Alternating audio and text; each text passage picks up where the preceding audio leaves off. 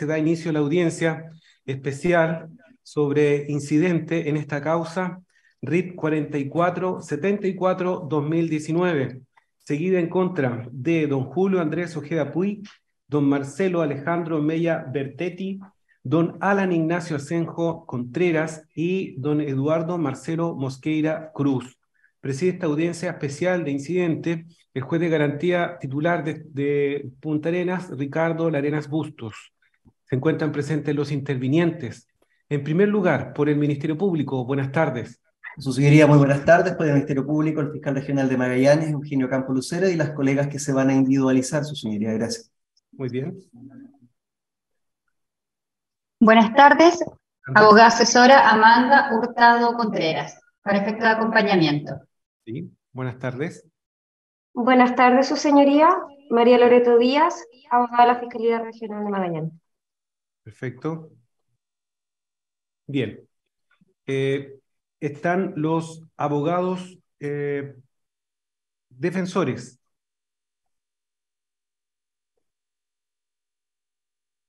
Buenas tardes, señoría.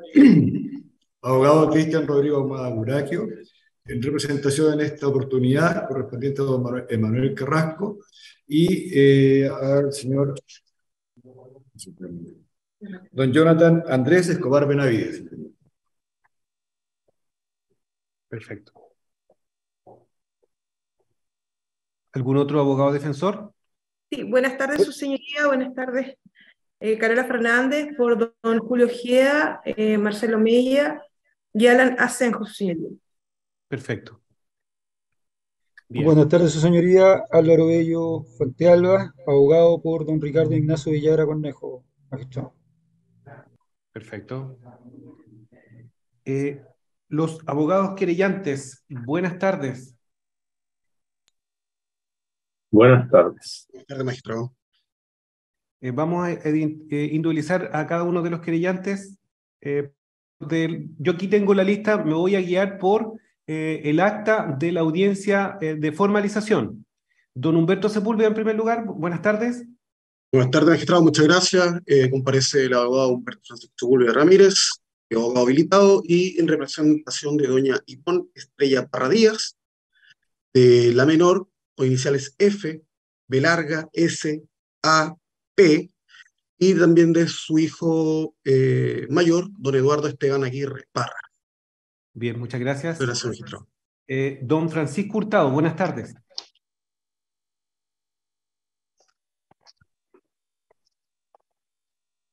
Abogado querellante, don Francisco Hurtado, ¿se encuentra conectado? Al parecer no se encontraría conectado. Eh, me salto a don, eh, el abogado querellante, don Gustavo Ávila. Buenas tardes. Eh, buenas tardes, señoría. Don Gustavo Ávila no comparece, pero comparezco yo. Matías Canales, somos la misma parte. Perfecto. Matías Canales. En este caso, sí, en este caso comparezco como parte querellante, señoría, en representación de la señora Gloria Calisto Mallorca, Valentina Astorquiza Calisto, Maestia Astorquiza Calisto, Claudia Pincheira, Maricio, Javier Ortiz Pincheira y señores don Daniel Ortiz Pincheira, Felipe Figueroa Carmona, Daniel Figueroa Carmona, Esteban Figueroa Carmona, Araceli Carmona Reifo y Araceli Figueroa Carmona. Perfecto, el tribunal lo tiene presente. Eh, el abogado querellante don Maximiliano Delgado. Sí, muy buenas tardes, señoría. Buenas tardes a todos los presentes. Comparece efectivamente el abogado Maximiliano Delgado González, domicilio, forma de notificación ya consignado en estos autos en representación de, son 27 partes, su señoría, eh, de familiares fallecidos que representamos, eh, la señora Carolyn Carvacho y sus tres hijos menores de edad, a la señora Angelina González y sus hijos menores de edad, a la señora Alicia Quiñones, a la señora María Alicia, María Soledad García y don Galvarino Zárate, a la señora Patricia Carrasco y don Carlos Pacheco, a la señora Patricia Ramírez y don Tomás Reyes Ramírez, a la señora Margarita Lobos, a don Marcos Lobos, Marcos Lagos, perdón, y su hijo menor de edad de iniciales GLM, a la señora Gertruida Trewer y sus tres hijos menores de edad de iniciales MST, EST y GST, a la señora Estefanía, don Eduardo, Nicole, y Viviana, todos Navarrete Flores, a la señora Karina Cruz, a la señora Millaray Esparza, por sí, y en, representación de su hijo menor de edad ERE, a la señora Catalina Mesa y sus dos hijos menores de edad de iniciales SM y SM, a la señora Jessica Pino y sus tres hijos de iniciales ERNRP y don Patricio Rodríguez Pino y Tiare Rodríguez Pino, a la señora Mariela Apablaza y sus tres hijos, Olet, Fabián y Franco Herrera Pablaza, a la señora Sandra Concha y don Héctor Castro, además de don Pablo Castro Concha, a los menores de edad Francisco y Vicente, representados por su madre, doña Evelyn González, a la señora Luz Oces Mella, a don Ernesto Venegas y la señora Mercedes Godoy, además de don Luis, Daniela y Jaime Venegas Godoy, a la señora Gloria Lincolao, a la señora Catherine Canales y sus dos hijos menores de edad de iniciales SRC y BRC, a la señora Natalia Peñailillo, a la señora María Paredes, a el menor de edad iniciales IBP, representado por su madre, doña Camila Palma, a la señora Patricia Gajardo. Yo diría hago presente que estas 25 partes que hemos señalado las represento de forma conjunta con el abogado cristianario, que también está presente acá. Sin perjuicio de ello, también represento de forma exclusiva a el menor de edad de iniciales MFG, representado por su madre, doña Jessica Gómez, a la señora Marisol Vera y sus hijos Constanza y Nicolás, ambos Alarcón Vera, su señoría. Muy bien, el tribunal lo tiene presente. Además, hago presente que eh, juntamente con identificarse don eh, Maximiliano Delgado, abogado querellante, y sus representados, está también el abogado Cristian Arias, eh, conjuntamente. Así es, señoría, como lo explicó el colega, pero también represento de, manera, de autónoma a doña Gerani Vivanco, que actúa por sus hijos de iniciales MF B corta y EF B corta. Y también a don José Mancilla Díaz. Perfecto, entonces el tribunal así lo tiene presente. Continuamos con la identificación de los abogados querellantes. Eh, corresponde al abogado Ciro Quilombara. Colombara, perdón. Sí, señoría, en la, en la misma parte de don Ciro Colombara. Perfecto. de don Matías. Sí, en la misma parte, y Aldo Díaz, que me parece que también está en la audiencia, eh, o individualizado, eh, también en la misma parte. Ellos no se van a conectar hoy día. Entonces, eh, hacemos presente que don Ciro Colombara, conjuntamente con Matías Canales y el otro abogado querellante, don Matías, por favor. Sí, Ciro Colombara, ah, Gustavo Ávila, que fue el que mencionó previamente su señoría, y Aldo Díaz también. Perfecto, entonces el tribunal así lo tiene presente. Continuamos. La abogada eh, querellante, don, eh, eh, la abogada Olga Prieto. Buenas tardes. Buenas tardes, su señoría. comparezco como abogado creyente en representación de doña Sandra Mónica Lillo Figueroa, don Luis Alberto Iturriaga Gaesa, doña Carolina Betsabe Pizarro Gatica, don Eduardo Mario Pizarro Rodríguez, doña María Graciela Gatica Uribe, don Luis Alfredo Parado Suri y Lorena Paola, Galvez Andrade, doña Caribia Sepúlveda Becerra, don Claudio Enrique Baeza Medel y doña Cecilia Esther Torres Vilches. Bien, el tribunal así lo tiene presente. La abogada querellante, doña Pía Hunda. Buenas tardes. ¿Alguien que la represente? Entonces, dejamos constancia de su no comparecencia. Eh, el abogado querellante, don Sebastián Valdés. ¿Alguien que lo represente? Dejamos constancia de aquello. Don Sebastián Vera como abogado querellante. Eh, no se encuentra, pero sí estoy yo. Bien, buenas tardes. Abogado querellante María Cecilia Cepeda Rivas, ambos con Sebastián Vera, estamos representando a la señora Gemita de las Marías Loyola León, madre del cabo segundo Gabriel Ignacio García Loyola. Bien, el tribunal así lo tiene presente. Eh, la, el abogado querellante Don Omar Carrasco. Buenas tardes. Buenas tardes, señoría. Buenas tardes, colegas. Señoría, en representación de eh, don Matías Valladares, el abogado Carrasco García. El tribunal así lo tiene presente. Eh, continuamos con el abogado querellante don Rodrigo Juica. ¿O alguien que lo represente? Dejamos constancia de aquello. Eh, continuamos con el abogado querellante don Alfredo Morgado. Buenas tardes, su señoría. Previamente, cuando usted nombró a la colega Pia Hunda y el colega Sebastián Valdés, ellos eh, también representan en conjunta, conjunto con este abogado eh, a la querellante Vigna Ami Corrales Gamboa en representación de ella, propiamente tal, en su calidad de conviviente de la víctima fallecida y, de, y madre del hijo menor de edad de iniciales EAPC.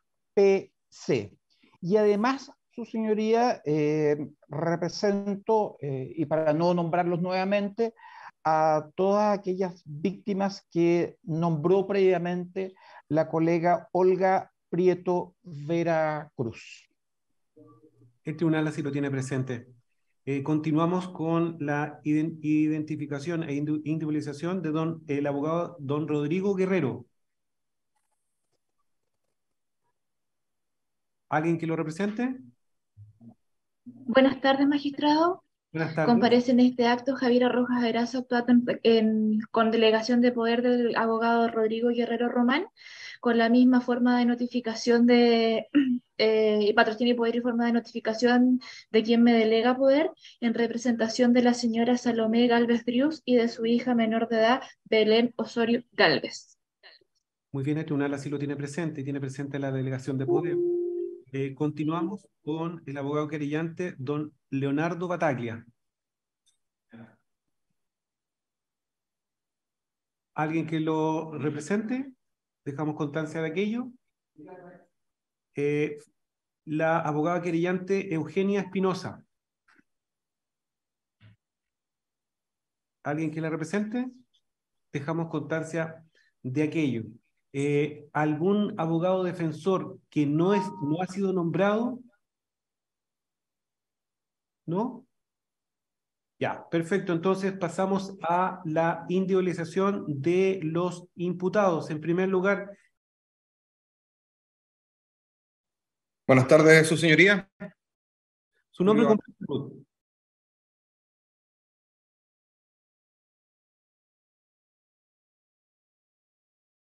Demás antecedentes constan de la carpeta digital. Continuamos con el imputado, señor Buenas tardes, sus señorías. Su nombre completo.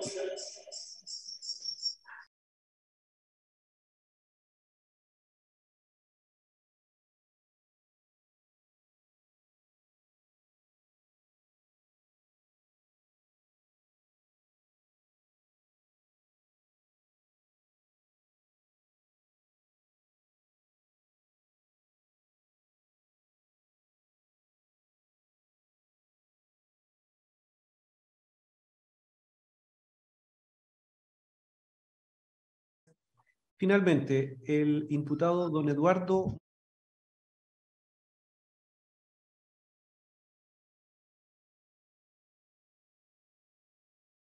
Perfecto. El tribunal así lo tiene presente. ¿Alguien que comparezca como interviniente que no he nombrado o no se ha identificado? ¿Estamos todos? Perfecto. Entonces, doy cuenta de esta audiencia especial fijada con la debida anticipación por este tribunal y además se dio cuenta respecto de esta audiencia, se fijó eh, y se dio cuenta de, de, la misma con fecha 21 de febrero pasado, oportunidad en que se realizó la audiencia de formalización de la investigación. donde se dejó eh, constancia al final del el acta respectiva, que eh, voy a leer tal cual como consta en el acta respectiva que está en poder de todos los intervinientes. Estoy leyendo al final del acta. Dice, se deja constancia que el tribunal señala que la audiencia programada en la presente causa para el día 8 de marzo de 2023 a las 13 horas, que por razones ya sabidas se retrasó media hora, servirá también para los efectos de debatir la eventual incompetencia del tribunal y alguna otra eventual solicitud que se plantee en la misma audiencia. Por lo tanto, estamos convocados para eh, la, eh, eh, los incidentes en realidad interpuestos por don Cristian Ahumada Buracchio, abogado en representación del imputado Emanuel Carrasco Millaquén, y además de el recurso de reposición interpuesto por, eh, en, realidad por Ricardo Ignacio Villagra Cornejo, representado por su abogado patrocinante, en este caso, eh, Álvaro Rodrigo Bello Fuente Alba. Entonces, le doy la palabra al abogado Cristian Ahumado Apuracchio con el objeto de exponer su presentación. Sería, si me permite, sí, adelante soy querellante, es que tengo un incidente previo a, a esta posición de la, de la defensa. Es, es, muy breve, pero lo explico. Adelante. Ya, lo que ocurre es que esta, como explicamos, eh, los abogados del grado ya representamos a, a diversos grupos de, de, víctimas y particularmente en este caso eh, hay tres querellas o ampliaciones de querellas presentadas respectivamente por diversas víctimas eh, por el delito del 198 del Código Aeronáutico. Acá no estamos discutiendo nada que tenga que ver con el cuasi delito. Y respecto de esa, de ese, de esa eh, imputación que se hace en el fondo personal del COA, se presentó una ampliación de querella, que es la querella por el COA, el 27 de enero, la que fue admitida el 30 de enero, y las defensas efectivamente repusieron de aquella resolución, y lo que nos convoca a estudiar. Pero ahora viene el problema, y ahí viene el incidente. Hay una segunda ampliación de querella presentada por este abogado en representación de las partes que ya expliqué, que fue eh, presentada el 6 de febrero. Esa, esta querella y su admisibilidad no ha sido sujeto, o sea, objeto de ningún recurso de reposición. Por lo tanto, respecto de ella no se puede abrir debate. ¿Y por qué, señoría? Porque ocurre que, efectivamente, el 6 de febrero se presentó esta querella. El 7 de febrero, el abogado Maximiliano Delgado también presenta otra querella. Esa sí parece ser objeto de reposición, pero no es el caso de la que se presentó el 6 de febrero. ¿Y por qué lo digo, señoría? Porque si usted mira las reposiciones que se presentan respectivamente los abogados Bello y eh, Ahumada, la, reposición del 11 de febrero, presentada por el abogado Bello, dice que está reponiendo respecto de las ampliaciones de los señores eh, Arias y Delgado y individualiza las víctimas de la primera querella, la del 27 de enero. ¿Ok? No, no está refiriéndose a las víctimas que se querellaron a partir del 6 y 7 de febrero. Por lo tanto, ellos no han repuesto, al menos del caso de nuestra eh, representada, que como expliqué es Gerani Banco, respectivamente, y José Mancilla. Y luego la reposición del 12 de febrero, que es la que presenta el abogado Cristian Omada, se dirige en contra de la ampliación de querella de Maximiliano Delgado González, como consta claramente en el recurso de reposición. Sería, yo podría aceptar y entender que me digan, pero si la resolución que declaró admisible ambas querellas distintas fue una sola de 9 de, de, de febrero. Correcto, señoría. Yo puedo entender que es una misma resolución que provee ambas querellas. Pero primero, la diligencia de los defensores para ver eh, cuáles son las ampliaciones de querella que se han presentado realmente y respecto a las cuales está litigando es carga de ellos. Y lo más importante es una regla bastante draconiana del artículo 360 del Código Penal, que la conoce de sobra su señoría, que impide que el tribunal se pronuncie sobre cuestiones no planteadas en los recursos que se han planteado. Por lo tanto, la incidencia penal consiste en debatamos todo lo que hay que debatir, pero la resolución respecto a la ampliación de querella eh, de Jeremy Vivanco y José Mancilla se encuentra firme no puede ser discutida en esta audiencia por la regla del 360 del Código Procesal Penal. Eso es. Bien, eh, está eh, el incidente especial planteado por el abogado querellante, don Cristian Arias. Eh, abro debate respecto de lo señalado por él. Su señoría, previamente, Alfredo Morgado, querellante. Sí, adelante. Sí, señoría, muy someramente, cuando usted hizo eh, lectura del el acta correspondiente al día 21 de febrero, que complementa la resolución en, en, los términos por usted señalados del 20 de febrero del 2023, que cita a los intervenientes para este día, 8 de marzo del 2023 a las 13 horas, eh, usted señaló de que en el acta se precisa de que, eh, a ver, lo voy a leer textualmente, sería que usted hizo, lectura, pero, eh, es, relevante para los términos de, del debate que, se va a, realizar. Estoy, buscando, sería, aquí dice, se deja constancia que el tribunal, esta es la audiencia del 21 de febrero, se deja constancia que el tribunal señala que la audiencia programada la presente causa, usted lo leyó para el día 8 de marzo del 2023 a las 13 horas, servirá también para los efectos de debatir la eventual incompetencia del tribunal y alguna otra eventual solicitud que se plantee en la misma audiencia. Eh, fruto de esta acta, señoría, eh, escuché eh, los audios, porque me quedó la duda en relación a lo que yo recordaba porque también participé en esa audiencia. Y en definitiva, en un principio, eh, el tribunal interpretó que se estaba solicitando eh, discutir en esa misma audiencia, más allá de lo dispuesto el 20 de febrero, eh, interpretó el, el, el, día en que se realizó la audiencia de formalización de que también se estaba solicitando la eventual incompetencia del tribunal y alguna otra eventual solicitud que se plantee en la misma audiencia.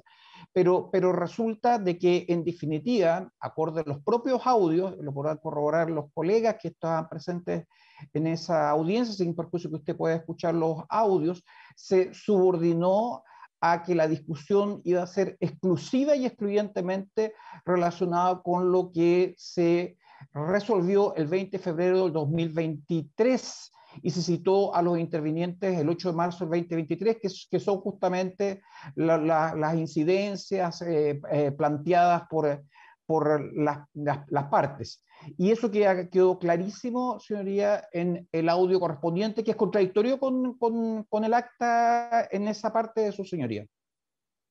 Bien. Ah, y para terminar, señoría, eh, incluso uno de los abogados intervinientes escuchando eh, el audio y en, esto en relación a la discusión de la incompetencia del, del tribunal, ajeno a las peticiones originales, eh, se, se, señaló de que se hicieran las presentaciones eh, por escrito y eventualmente se fijaría la misma audiencia para el día de hoy. Esas presentaciones por escrito no se realizaron en relación a la competencia del tribunal, en relación a la formalización, razón por la cual no podría ser materia de discusión, su señoría.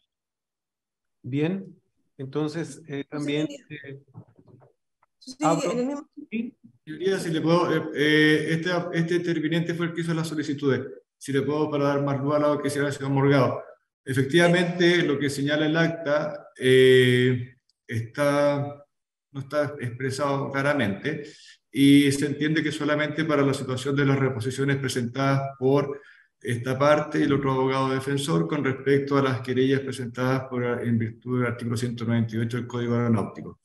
Eh, se produjo una, una controversia en la audiencia y que efectivamente se señaló que si se requería la presentación para discutir, o sea, para, si se requería discutir la competencia con respecto al hecho de la formalización, se iba a hacer por escrito y en ese sentido no se han hecho las presentaciones y entendido, también entiendo esta parte que solamente con respecto a las reposiciones presentadas directamente por escrito al tribunal en relación al artículo 198 del Código Aeronáutico en las querellas, como se señalan las querellas que se, que se están estableciendo. Perfecto. Sí, ¿Sí? Si me dan la palabra, eh, Carola Fernández en representación de don señor Ojeda, Mella, y Asenjo. Los, tal como lo señalaron los colegas anteriores, efectivamente la audiencia que se citó para el día de hoy dice relación con hechos distintos por los cuales han sido formalizados mis representados. Eh, y en ese sentido, magistrado, entiendo que eh, esta, esta audiencia no dice relación con, con hechos que eh, sean ellos imputados. Y en ese sentido, su señoría, en ese orden de idea, solicita, se nos autoriza para, si bien es cierto, comparecimos, porque la resolución así lo decía, lo cierto es que solicitamos autorización para poder retirarnos de la audiencia toda vez que los hechos sobre los que van a versar las discusiones no están relacionadas con mi rol presentado. Eh, efectivamente, y si hay alguien que tenga oposición a lo solicitado por la abogada eh, Carola Fernández por su representado, efectivamente, eh, creo que ya estamos claros en el sentido de que no le empece lo que se va a debatir en esta audiencia de incidente. ¿Hay alguien que se oponga a que se retire la abogada eh, Carola Fernández? Magistrado, y junto con mi representado. Junto con eh, su representado, don Julio Ojeda. Los tres representados, el señor Mella, Ojeda y Asenjo. El señor Mella, Ojeda y Asenjo. Entonces, eh, estamos de acuerdo en que pueden retirarse, a menos que alguien se oponga, algún querellante, algún abogado defensor.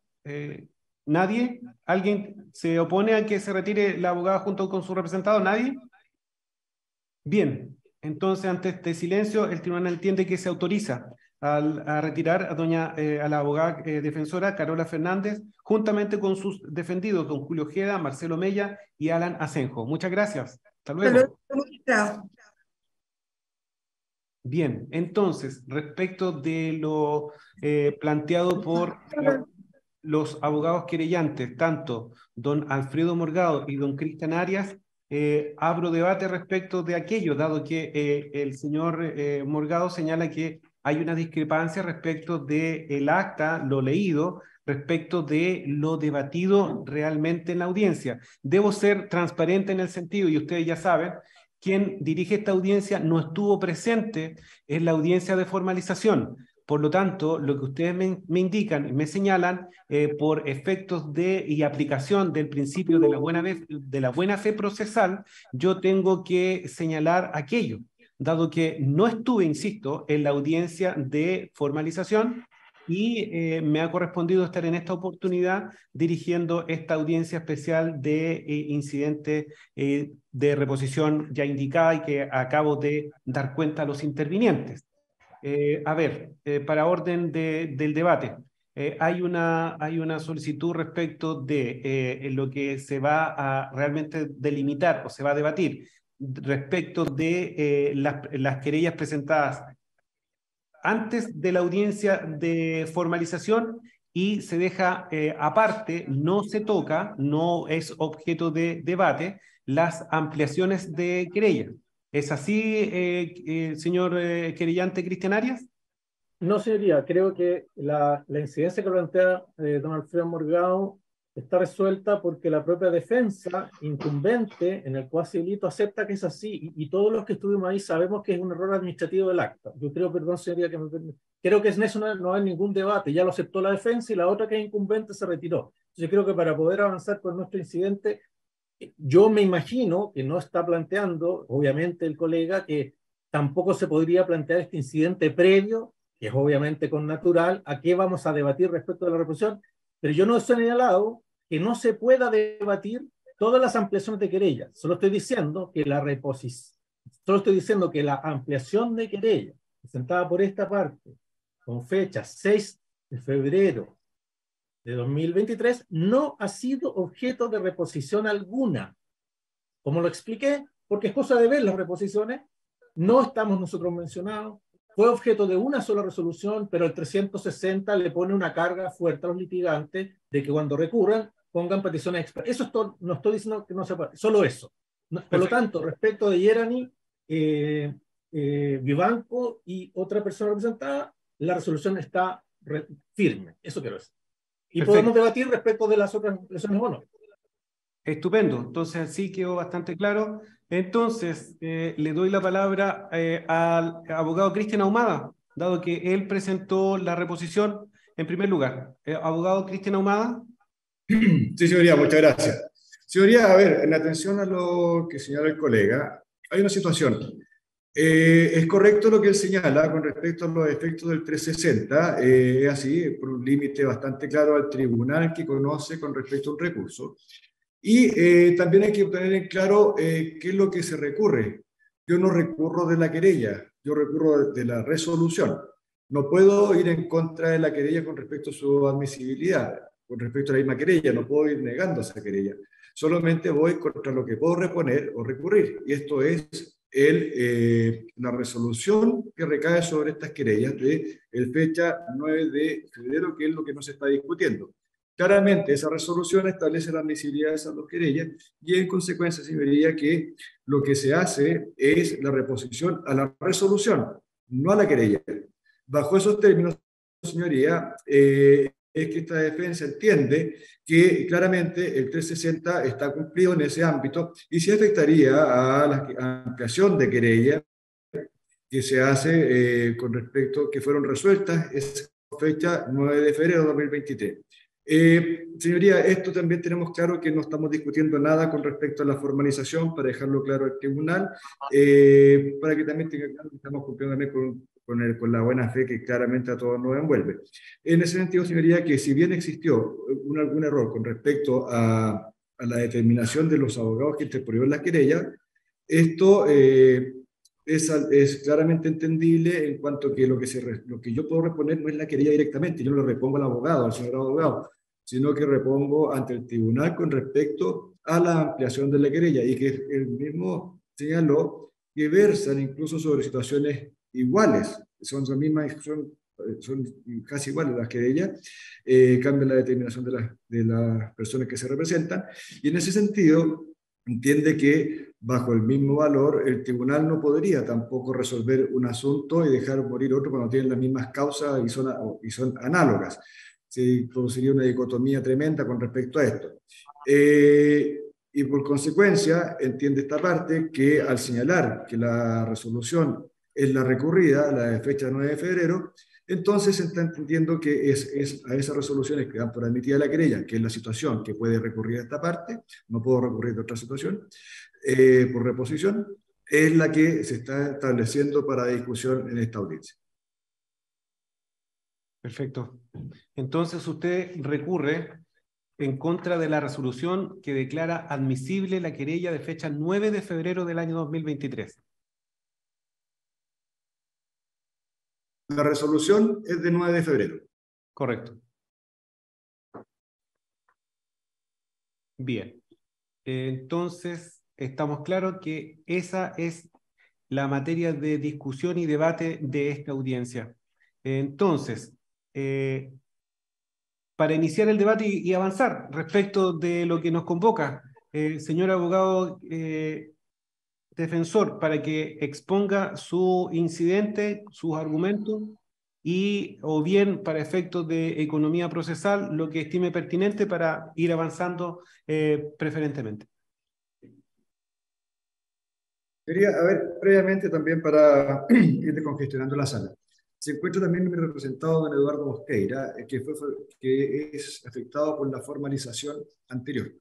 Ya no tiene ninguna relación por lo que se ha establecido por vuestra señoría y también por los demás intervinientes como parte de esta discusión. Eh, solicitaría en consecuencia eh, si se puede liberar de la presencia en la sala. Si bien quizás pueda estar presente para escuchar si le interesa lo que ocurre, eh, pero a la vez también solicito que si, si, no puede, ya sea por la extensión o por otras situaciones, se pueda hacer dispensado de estas. Bien, esa es la solicitud del abogado defensor. ¿Hay alguien que se oponga a lo solicitado por el abogado defensor? Entiendo de que este silencio eh, es eh, la, que todos estén de acuerdo en que el representado eh, por el abogado defensor que no le empece tampoco esta, este debate pueda retirarse. Por lo tanto, se le autoriza a, para que, para efectos del registro, ¿quién está solicitando el, el retiro para, para anotarlo? Que se le autoriza a don Eduardo Mosqueira. Don Eduardo Mosqueira está autorizado para eh, retirarse de esta audiencia. Ok, gracias, su señoría. Muy bien, hasta luego. Su señoría. ¿Sí? para un eventual incidente. y esto le consulto al colega Cristian Ahumada, que claramente representa a un Eduardo Mosqueira. ¿Él además representa a otros imputados? Yo eh, sí, estoy representando al señor eh, Escobar y al señor Carrasco. Ah, ya, entonces no, no, no, hay, no hay incidencia, porque tenía la duda, porque si es que no, no representaba a los señores Escobar y Carrasco, como ha referido, que mm. son querellados, no tenía legitimación activa. Aclarado el punto, no hay incidencia, señoría. Perfecto, bien. Entonces vamos avanzando. Eh, señor defensor, Cristian Ahumada, nuevamente tiene la palabra. Muchas gracias, señoría. Muchas gracias a todos. Señoría, también está el defensor de la, del querellado, en este caso el señor Villagra, no sé si se habrá individualizado para, no, no recuerdo. Sí, sí, colega, ya con respecto a la... Sí. Ah, ok. Muchas gracias. Señoría, bueno, eh, para comenzar, quisiera ver la querella con, la, con respecto a la ampliación de la querella que está siendo parte de objeto, fue, la, fue el fundamento para la resolución que, de la cual esta parte está haciendo la presentación del recurso. Esta señala en su parte esencial con respecto a los hechos, que es el objeto por el cual esta parte presenta la observación a la forma de resolver el tribunal, que el día 9 de diciembre de 2019 partió de Santiago la aeronave C-130 Hércules, matrícula 90, rumbo a la Antártida, con escala en Punta Arenas. Este vuelo cumplía objetivos de apoyo logístico y se debía desarrollar entre la base aérea Chabunco y la base aérea Presidente Eduardo Frei Montalva. Correspondía a transportar personal para revisar el oleoducto de combustible de la base aérea Antártica y la realización de un proceso de, aplicación de anticorrupción a las instalaciones nacionales en la el vuelo transportaba civiles y militares, incluyendo personal de la Fuerza Aérea y, del Ejército. La aeronave despegó a las 16.55 horas de Chile y al cabo de poco más de una hora de viaje, específicamente a las 18.13 horas, el momento que pasaba sobre el mar de Voces, eh, continuamente, comúnmente denominado mar de Drake, denominación que se utiliza en la presente querella, se perdió contacto y toda forma de comunicación con la aeronave o su tripulación. Posteriormente, y luego de que se iniciara un proceso de búsqueda y rastreo de la aeronave, el 12 de diciembre de 2019 se ubican restos pertenecientes a la aeronave C-130 Hermes, a unos 27 kilómetros al sur de la última ubicación reportada. Asimismo, existen presunciones vehementes que el resultado múltiple de pérdidas de vidas humanas se ha originado en causas o factores ajenos a la tripulación, puesto que todos los antecedentes indican que la tragedia se ha producido por un colapso del material de vuelo, es decir, por alguna condición preexistente que generó un desperfecto catastrófico en pleno vuelo. El comandante en jefe de la Fuerza Aérea en declaración pública señaló, la verdad es que el avión sufrió un colapso completo que, lo hizo desintegrarse sea en el mar o en el aire. Lo cierto, señoría, es que todo indica que la aeronave colapsó en pleno vuelo, y no al supuestamente estrellarse en la superficie del mar. Puesto que de haberse producido una caída con el material de vuelo condiciones de maniobrabilidad, al menos la tripulación habría dado un aviso accionando los comandos de comunicación o alerta que son de ejecución instantánea. A raíz de la presente investigación, se ha podido establecer la existencia de una cadena de errores en los procedimientos que debía emplear la Fuerza Aérea de Chile para el mantenimiento y la operación segura de sus vuelos. Es un hecho establecido el deficiente mantenimiento de la aeronave Hércules 630, matrícula número 990, que la Fuerza Aérea de Chile, FACH, permitía que, que operaran en condiciones no aptas para el vuelo.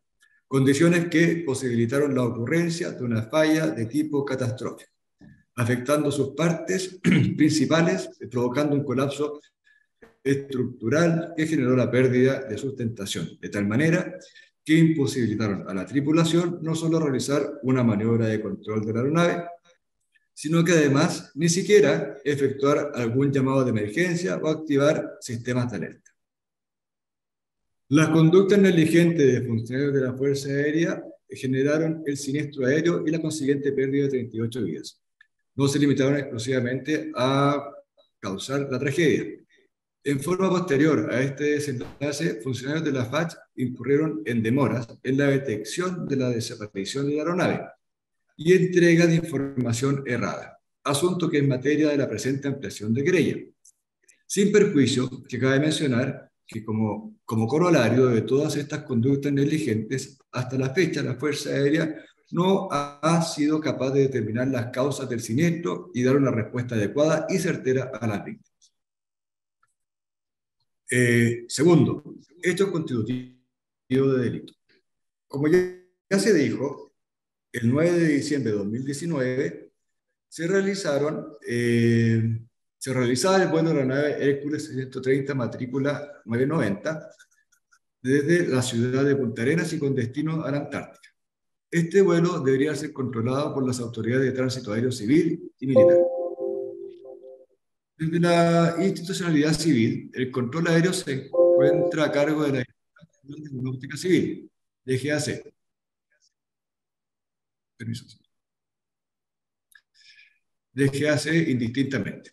Y en específico, a través del Centro de Control Aéreo o, o, o ACC indistintamente. Control que al momento de los hechos ejercía la funcionaria Paula Montes Morales.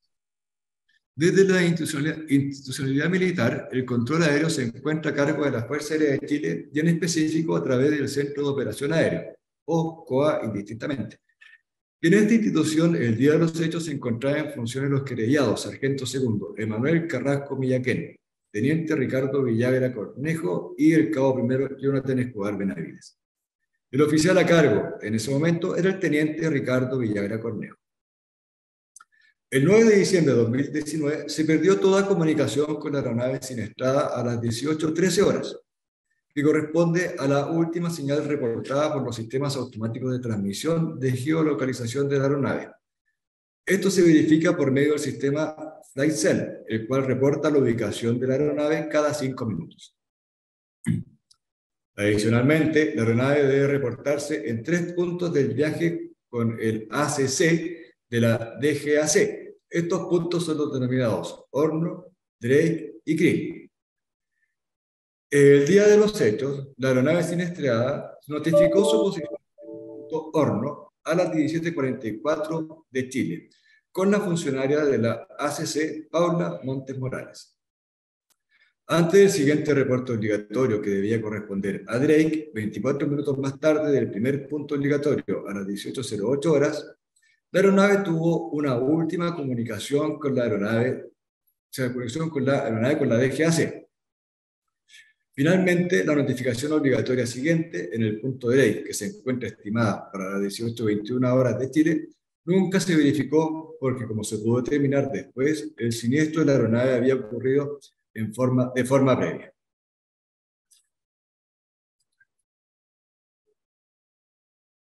Debido a la falta de comunicación, la funcionaria llamó al COA para efecto de confirmar la ubicación de la aeronave. En ese momento se encontraba solo el querellado sargento segundo, Emanuel Carrasco Millaquén, ya que los otros dos integrantes de turno se encontraban cenando a partir de las 18 horas. Los, querellados, los que son los querellados, teniente Ricardo Villagra Cornejo y el cabo segundo primero Jonathan Escobar Benavides.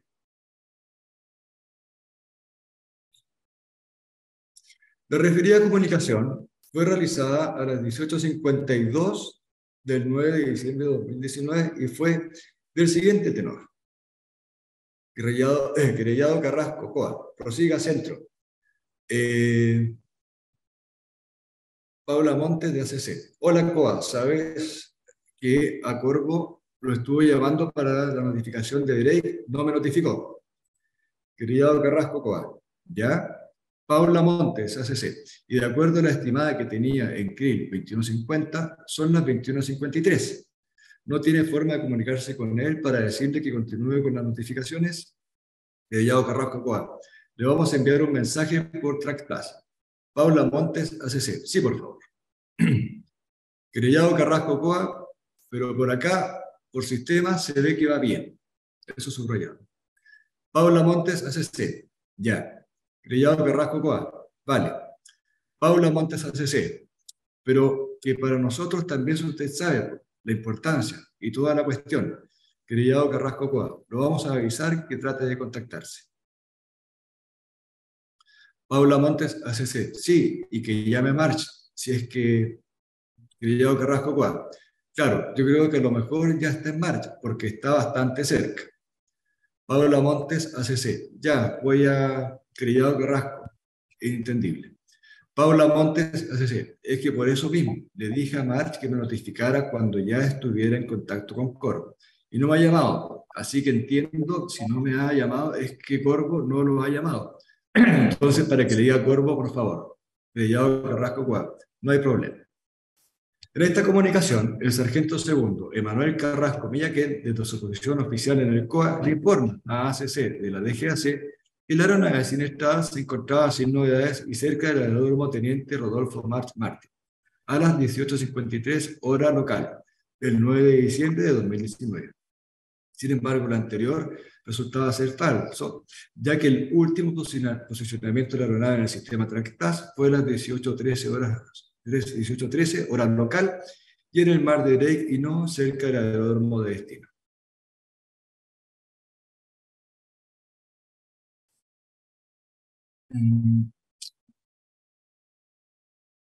Luego, a las 19 horas, eh, retornaron sus funciones el CUA el teniente Villagra y el cabo Escobar, y se retiró a cenar el creyado Carrasco. El retorno eh, el retorno del teniente Villagra obedece una llamada realizada por el comandante Felipe Ortega Becerra, jefe de operación de la Cuarta Brigada Aérea, quien, en base a su propia información obtenida del sistema Tractas, informó a Villagra la falta de autorización de la ubicación del vuelo, lo que motivó el retorno de este último a sus funciones de forma anticipada, ya que encontrándose en sus funciones en el cual los creíamos Villagra y Escobar tuvieron una primera comunicación con ACC a las 19.08 hora local, en que señala los puntos, abre comillas. Querellado Escobar Coa, eh, Centro Rosiga. Paula Montes, ACC. Coa, ¿qué pasó con Corvo? Querellado Escobar Coa. Estamos tratando de comunicarnos. Paula Montes, ACC. Tienen las orejas de mi parte. Querellado Escobar Coa, perdón. Paula Montes, ACC. Tienen las orejas de mi parte. Querellado Escobar, risas. No hay problema, no, eh, no he tratado de Paula Escobar. Sí, de hecho, March no ha, llamado millones de veces desde que tenía notificación, desde que tenía que notificar la posición crimen. Querellado Escobar, Escobar. Sí.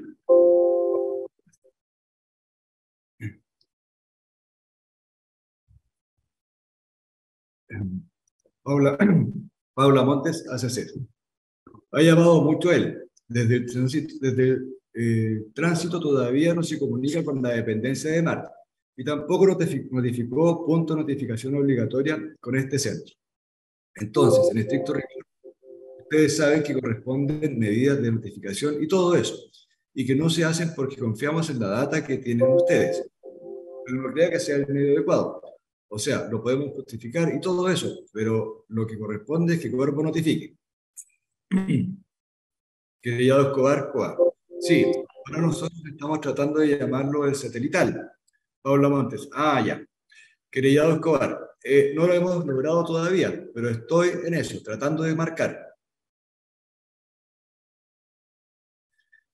En esta última conversación, el creyado Escobar, encontrándose presente en todo momento el teniente Villagra, a pesar de encontrarse sin registro o posición de la aeronave hace más de 45 minutos, omite tal circunstancia la autoridad civil, la cual, bajo la falsa creencia de que se trataba de un olvido del comandante de la aeronave, quedó a la espera de mayor información, asumiendo como cierta la data o información proporcionada por los querellados. Luego, la funcionaria Paula Montes Morales vuelve a comunicarse con el COA en donde el querellado Escobar, siempre con la presencia del teniente Villagra, y ante la evidencia se ve obligado a rectificar la falsa información entregada mediante llamada realizada a las 19.11 horas entre el primero Jonathan Escobar Benavides por el COA y Paula Montes Morales por el ACC. Refería a comunicación de la siguiente. Jonathan Escobar. Adelante, Paula Montes, ACC. COA, se comunicó con Corvo, Jonathan Escobar, COA. Estoy, no sé si escucha el satelital, estoy marcando. Paula Montes, ACC. Ya, lo que pasa es que él tenía estimada la, eh, de arribo hora a las 04. Jonathan Escobar, CUA. Eso es correcto. Paula Montes, ACC. Y son las 12. Y si no aterriza en 5 minutos después de la última notificación, debe activar, se debe activar el INSERPA. Jonathan Escobar, CUA. Sí, como le digo, no hemos podido comunicarnos con ellos. Y la última presentación en nuestro sistema, Paula Montes. Eso me, eso me importa saber. ¿Cuándo y dónde? Jonathan Escobar. Eh, no, de un segundo. Fue el minuto 14 de la hora pasada. Generalmente a veces tiene algunos problemas de pérdida de cobertura, pero no podemos decirle nada. Paula, Paula Montes, de la CC. Pero fue a las 21.14. Usted me dice que esa es la última presentación que usted tuvo de tránsito. Jonathan Escobar, Cuba. Sí, en el sistema Track Plus, Paula Montes pero yo lo llamé bastante después, me había dicho que lo había visto sin problemas. Jonathan Escobar. Sí, seguramente fue mi colega, pero ahora lo estoy chequeando yo, que fue a, que fue a cenar, y esa fue la última posición, o sea, el último minuto que tenemos del sistema nuestro. Yo lo llamamos del satélite, del satelital, y no me contesta. Paula Montes. Gracias. Yo me quedé con la información que me dio su colega al minuto que yo lo llamé y en ese vuelo estaba normal. Jonathan Escobar Coa. Sí, estoy consciente. Por eso le digo, estamos tratando de comunicar. Paula Montes, ACC. Ese punto y esa hora fue hace mucho, mucho eh, rato y no hemos tenido ninguna notificación más del piloto. Con eso me preocupo mucho. ¿Qué quiere, qué quiere que le diga? Jonathan Escobar. Sí. Paula Montes. Ya vamos a ver los protocolos entonces, porque si no podemos lograr comunicación en los próximos tres minutos, tendrá, eh, tendría, que, tendría con los pasos de inserta y lo que corresponde. Jonathan Escobar, sí, no hay problema. En el contexto descrito, el querellado Villagra, oficial responsable del turno, que fue detectado por el comandante Ortega ante la falta de actualización del sistema de seguimiento de la aeronave y estando en todo momento por el criado Escobar, no dio ninguna orden o instrucción, ni realizó ninguna acción para comunicarse, comunicar la situación de la aeronave.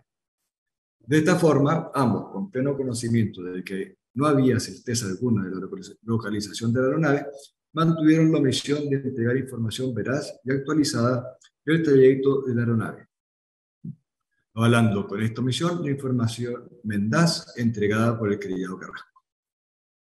Tanto el creyado Escobar como el teniente Villagra, que se encontraban en el COA a partir de las 19 horas, omitieron la última ubicación reportada por la aeronave y, consecuentemente que se declarara la alarma incerta correspondiente. Además, hay que tener presente que el sistema de monitoreo de la ubicación de la aeronave que utiliza la FACH, denominado TrackTAS, es un sistema que les permite, mediante pantallas en la oficina del COA, seguir la ubicación de la aeronave, sin perjuicio de que se pueda monitorear de otro tipo de dispositivos, como un celular, cuyo fue el caso del comandante Ortega. A pesar de lo anterior, por más de una hora, eh, ninguno de los tres querellados advirtió o alertó sobre la falta de certeza sobre la ubicación de la aeronave. De esta forma, durante el 9 de diciembre de 2019 transcurrió una hora específicamente entre las 18.14 horas y las 19.15 horas en donde no hubo control de la aeronave por parte de los querellados, específicamente a las 18.13 horas hora local, última hora en que estuvo señal de aeronave.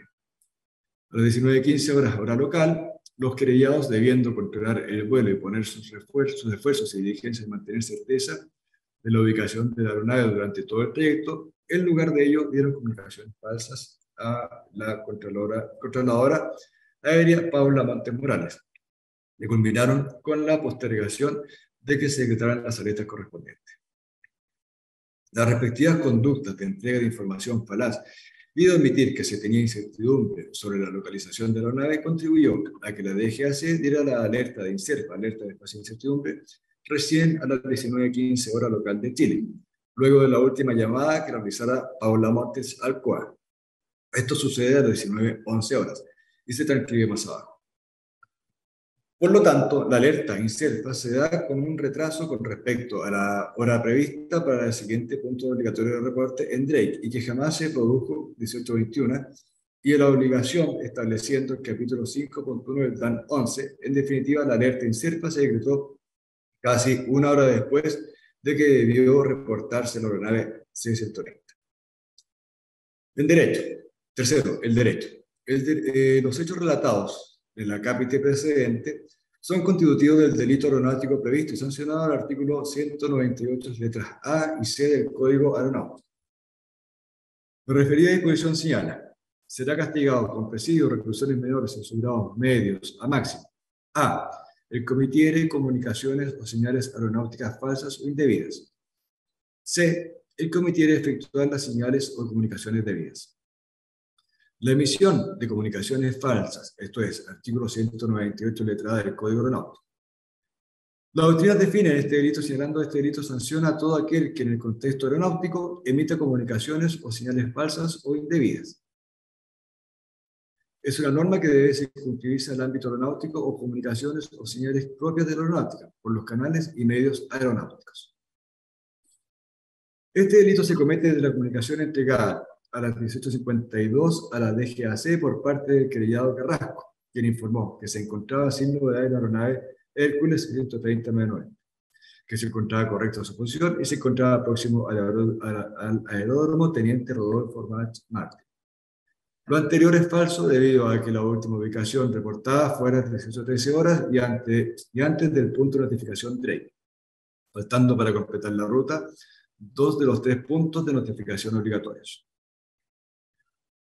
Por tratarse de una comunicación que informa la ubicación de una aeronave para efectos de control de tránsito aéreo por parte de la DGAC, en específico por la ACC, tiene una evidente finalidad aeronáutica, por lo que se enmarca dentro del tipo penal del artículo 198 letra del Código Aeronáutico.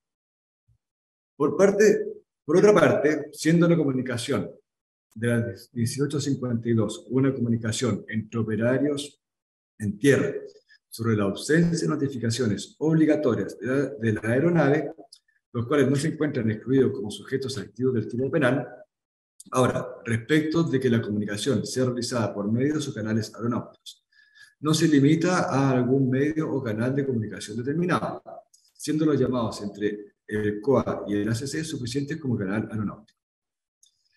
Respecto de la calidad de indebida o falsa de la comunicación, esto es alternativo.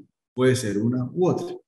En el caso de autos, las comunicaciones emitidas por el creyado Emanuel Carrasco Millaquén son falsas en la medida que se informó una ubicación y tiempo de reporte de la aeronave sinistrada sin relación alguna con la realidad, señalando el 1852 que la aeronave se encontraba, se encontraba sin novedades en el sistema TRACTAS, a pesar de no haberse tenido información durante más de 30 minutos, e informando que se encontraba próximo al aeródromo de destino, en circunstancias que ni siquiera había eh, atravesado dos de los tres puntos de notificación obligatorios establecidos para la ruta.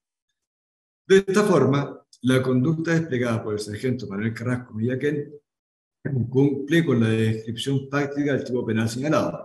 Ahora, tratándose de un tipo penal que protege la seguridad aeronáutica, no requiere de un daño concreto, en la medida que lo anterior solo agrava la responsabilidad penal, conforme al 199 del Código Aeronáutico. Ahora bien, la conducta además es completamente apta para afectar el bien jurídico protegido, en la medida que, a causa de información falsa entregada, se retrasó la declaración de alarmas correspondientes por las autoridades administrativas, alarmas que tenían por objeto dar aviso y de esa forma dar inicio al proceso de búsqueda de la aeronave y sus restos alarma que recién se pudo detectar después de una hora de haber perdido todo tipo de contacto e información respecto de la aeronave, y siendo el lugar del siniestro, ya que los restos hallados lo fueron a solo 27 kilómetros de la última ubicación reportada. La omisión de efectuar comunicación de vías, artículo 198b. Además, los creyados, el teniente Ricardo Villagra Cornejo y el cabo primero Jonathan Escobar Benavides, omitieron efectuar las comunicaciones necesarias posteriores a la falsa comunicación del querellado Carrasco Millaquén, en la medida que al retornar a sus, propios, a sus puestos de trabajo después de cenar a las 19 horas, no efectuaron comunicación alguna e incluso se abstuvieron de informar a la DGAC en la primera llamada recibida en su turno de parte de la funcionaria Paula Montes Morales. Pero aún más grave, ellos retornaron a sus puestos de trabajo debido a que el comandante Felipe Ortega Becerra les comunicó la falta de actualización de la ubicación de la aeronave.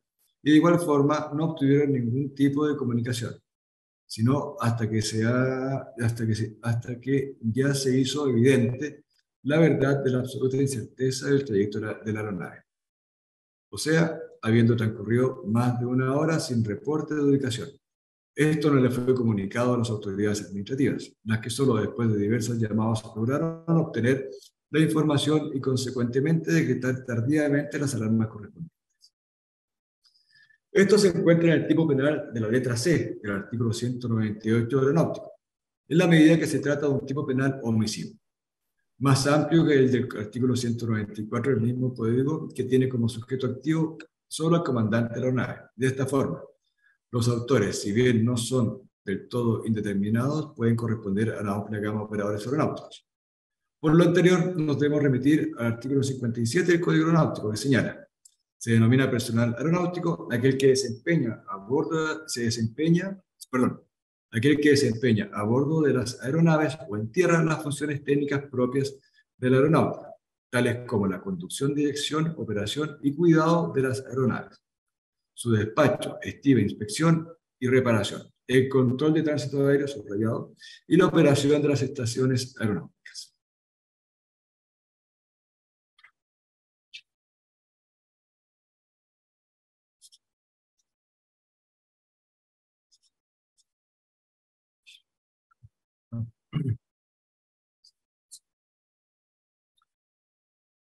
El ejercicio de funciones técnicas propias de la aeronáutica requeridas de las licencias y habilitaciones que determine la autoridad aeronáutica. El personal aeronáutico se clasifica en personal de vuelo y personal de tierra. De la definición legal transcrita se desprende que los tres querellados son personal aeronáutico de tierra, en la medida que se dedican al control del tránsito aéreo al prestar funciones en el Centro de Operaciones Aéreas de la Fuerza Aérea de Chile cuya función es básicamente controlar las operaciones aéreas dentro de la jurisdicción de la Cuarta Brigada, polo sur de la Fuerza de la Facha, y además efectuar las coordinaciones directas con la DGAC y por lo tanto tienen control sobre el tránsito aéreo, encontrándose comprendidos en la definición legal del artículo 57 del Código Aeronáutico. Ahora, respecto a la calidad de indebidas de las comunicaciones, debemos remitirnos a la reglamentación aeronáutica y en ese sentido, conforme al DAN 11, capítulo 5.2.1, letra A, número 1, correspondía decretar la alerta de fase de incertidumbre, inserta, la que debe decretar, los puntos, comillas, cuando no haya recibido ninguna comunicación de la aeronave dentro de los 30 minutos siguientes a la hora en que debería haberse recibido de ella una comunicación o siguientes al momento en que, por primera vez se trató infructuosamente de establecer comunicaciones con dicha aeronave y lo primero que sucede. Sin embargo, y a pesar de encontrarse en esta hipótesis, los que ya sometieron a ver hacer la comunicación debida y la correspondiente alerta de fase de incertidumbre por la DGAC. Competencia de su señoría para conocer de los ilícitos materias de la presente querella. Señoría, ¿puedo interrumpir? Sí, adelante. Sí, adelante. Yo que esto es un debate oral. Hemos escuchado una lectura realmente tediosa de la querella, que todos la conocen. Y si vamos a hacer lectura, yo podría leer mi minuta. Creo que hay que, pido, pido que se reconduzca el debate a una debate sobre incompetencia, sobre inadmisibilidad, pero Imagínense que vamos a estar escuchando toda la querella. Creo que no es lo que corresponde en esta audiencia. Disculpe, lo pido en términos de, dirigir el debate. Sí, eh, y le agradezco, señor abogado, eh, respecto de, eh, vamos a lo, medular que nos convoca, señor abogado defensor, respecto del incidente que usted planteó. omitamos lo que es lectura de, de querella, porque es de conocimiento de los intervinientes y de este tribunal. Eh, por lo tanto, para efectos de eh, optimización del recurso tiempo. Sí, ya, eh, perfecto, completo. Por favor. Sí, perfecto, señoría. Señoría, eh, bueno, comprendiendo, quería establecer más bien con respecto para que el tribunal tuviera conocimiento claro con respecto al hecho que se está, que se entiende que el tribunal comprendió mal y por eso eh, emitió esa resolución. Pero en consecuencia, lo demás es bastante, ya se estableció lo medular, que es el mismo hecho, el hecho que establece la querella, eh, lo principal, esta comunicación que realiza mi representado con la DGAC se debe primeramente con respecto a la falta de comunicación que realizó la aeronave 990 eh, el día 9 de diciembre de 2019, eh, cuando debía ser reportado en el punto determinado. Se le presenta como querella ello el hecho de que eh, esta comunicación fue falsa por cuanto le dio una situación, mi representado, especialmente específicamente al señor Carrasco, con respecto a que la aeronave se encontraba bien. El delito que establece el, código, aeronáutico, los delitos que se establecen especialmente, eh, nacen históricamente de dos fuentes muy especiales. Una es el tratado que se estableció con la OASI, que este fue también ratificado por Chile y, eh, y se encuentra vigente, también fue publicado, y el convenio para la represión de actos ilícitos contra la seguridad de la aviación civil. La OASI se encarga específicamente de eh, regular lo que es la aviación civil. El Código Aeronáutico eh, también se encarga de regular especialmente la aviación civil. El 198 del Código Aeronáutico se encuentra específicamente en lo que corresponde a los delitos para proteger de la protección, busca la protección de, de la aeronáutica civil.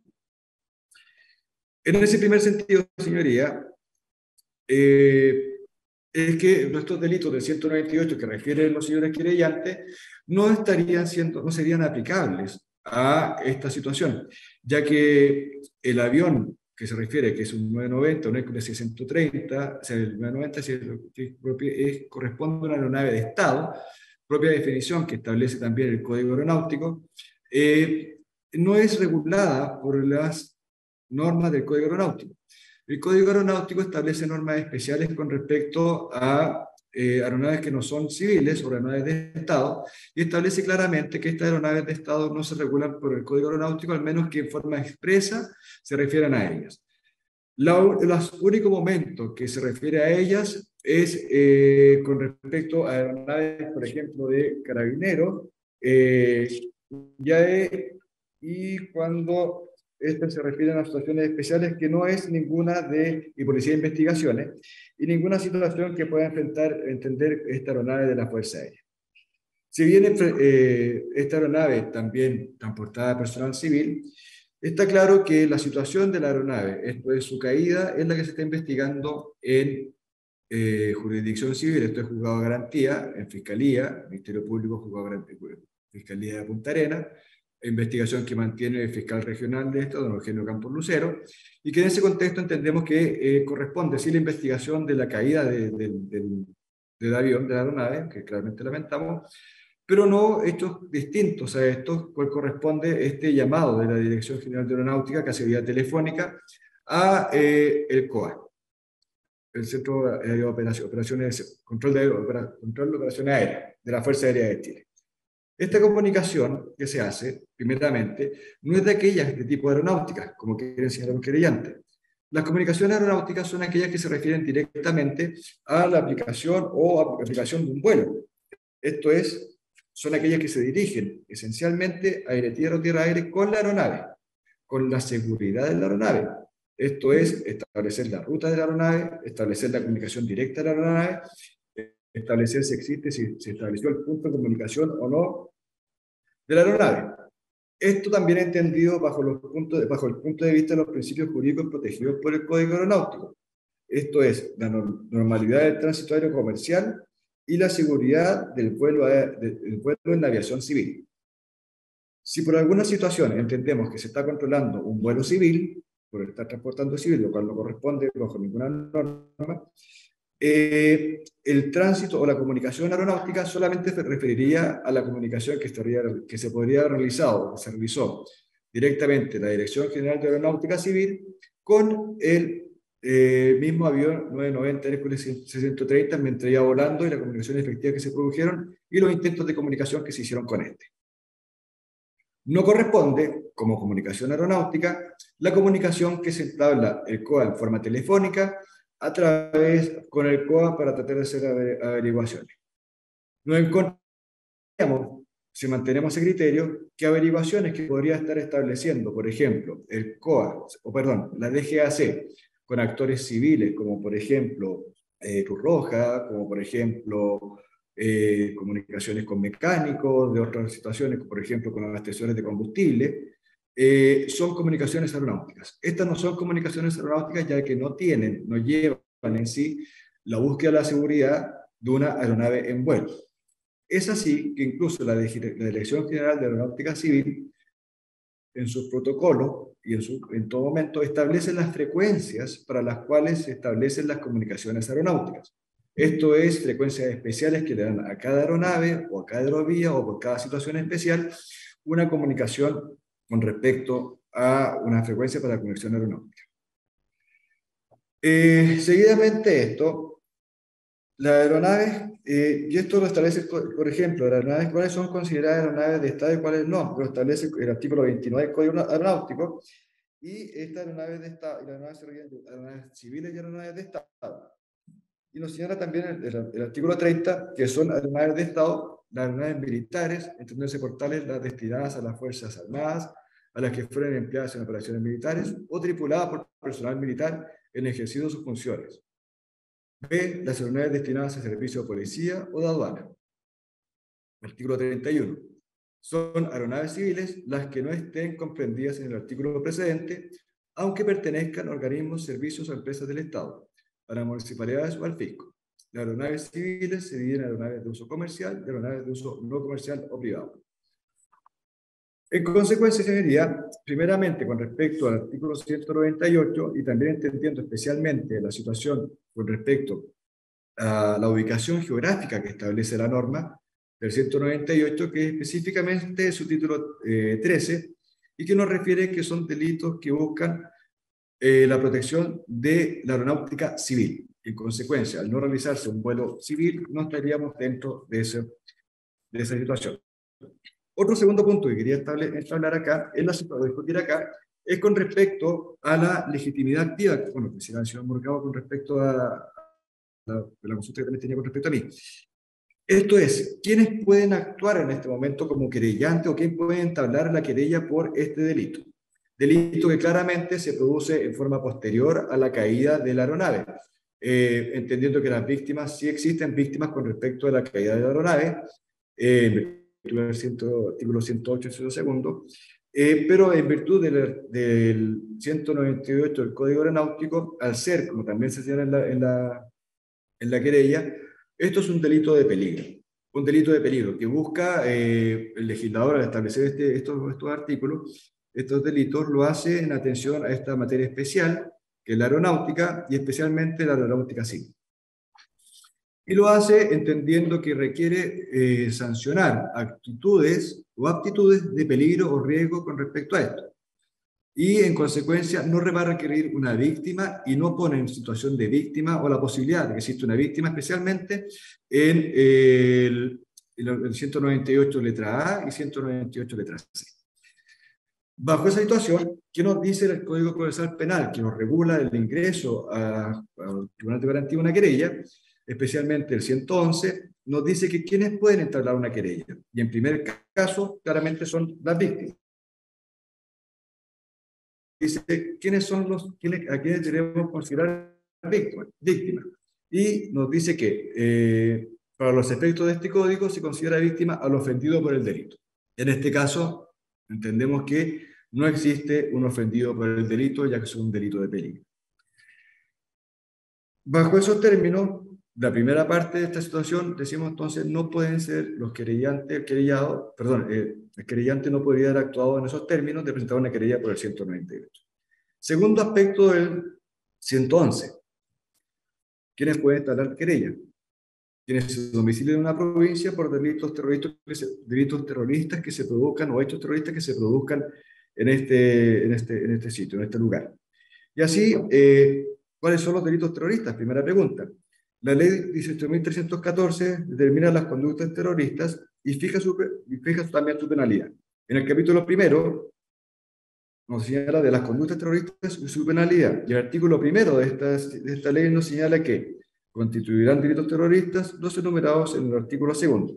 Cuando el hecho se cometa con la finalidad de producir en la población con una bella el temor justificado a ser víctima de delitos de la misma especie, sea por la naturaleza y efectos de los medios empleados, sea por la evidencia de que obedece a un plan eh, premeditado de atentar contra una categoría o grupo determinado de personas, sea porque se comete para arrancar o inhibir resoluciones de la autoridad o imponerle exigencias. Pregunta, ¿estamos bajo esta segunda hipótesis? Tampoco. Tercera hipótesis que nos plantea, o premisa que nos plantea el artículo 111. Eh, dentro de los que viven dentro de la misma provincia, por hechos que afectaren derechos de las personas garantizados por la Constitución Política de la República. ¿Cuál es el eh, eh, bien, jurídico protegido por el artículo 198 del Código Aeronáutico, lo establece claramente, como ya se hablaba, el título 13 del mismo Código Aeronáutico que establece que es la aviación, la seguridad de la aviación civil. No estamos frente a eso. El artículo 19 no establece ninguno de esos, no, lo puede enumerar entendiendo que, no lo puede señalar entendiendo que la economía del tiempo no establece ninguna de esos caracteres, ni tampoco dentro de la Constitución, no establece ese tipo de bien jurídico especialmente protegido. Esto con respecto a esto, no podemos ser extensivos. Cuarta hipótesis que establece el 111. Por hechos cometidos dentro de la provincia y que la persona resida en esta. Esto es delitos, cometidos por funcionarios públicos y que afectasen la, la probidad pública. La probidad consiste en la recta administración que se, del Estado mediante sus agentes, o sea, los empleados públicos, y que pueden cometerse en la administración del Estado, en sus organismos centralizados o descentralizados, entidades autónomas, municipalidades o gobiernos regionales. Bajo ese contexto, debemos entender que esta administración se refiere al peculio público, al dinero que tiene la, municipalidad, al dinero del fisco. Es así que cuáles son los delitos que afectan la probidad. Tenemos malversación de caudales públicos, el eh, artículo 133 del Código Penal, el peculado culposo, 334 del Código Penal, distracción o uso indebido de caudales o efectos públicos, 335 del Código Penal, eh, aplicación pública diferente o la desviación de fondos o efectos públicos, 236 del mismo cuerpo legal, negativa a un pago o entrega 237 cuerpo, del mismo cuerpo legal y, todos aquellos que tengan relación con la administración de los, bienes públicos con la entrega, con la adjudicación, con eso. Son todos estos delitos que afectan al peculio público. No misma pregunta, ¿nos encontramos dentro de esta hipótesis pues, en virtud en relación al 198 del Código Aeronáutico? No. En tal sentido, no podemos entender que eh, la querella admitida a tramitación, primeramente con respecto a la legitimidad, legitimación activa, pueda entenderse que el tribunal haya, la haya admitido. Por eso es la reposición en ese sentido. Segundo, este no es un delito que podría aplicarse a militares, ya que el mismo Código Aeronáutico, el Código de Justicia Militar, establece cómo es que estos delitos o los delitos pueden aplicarse o no militares.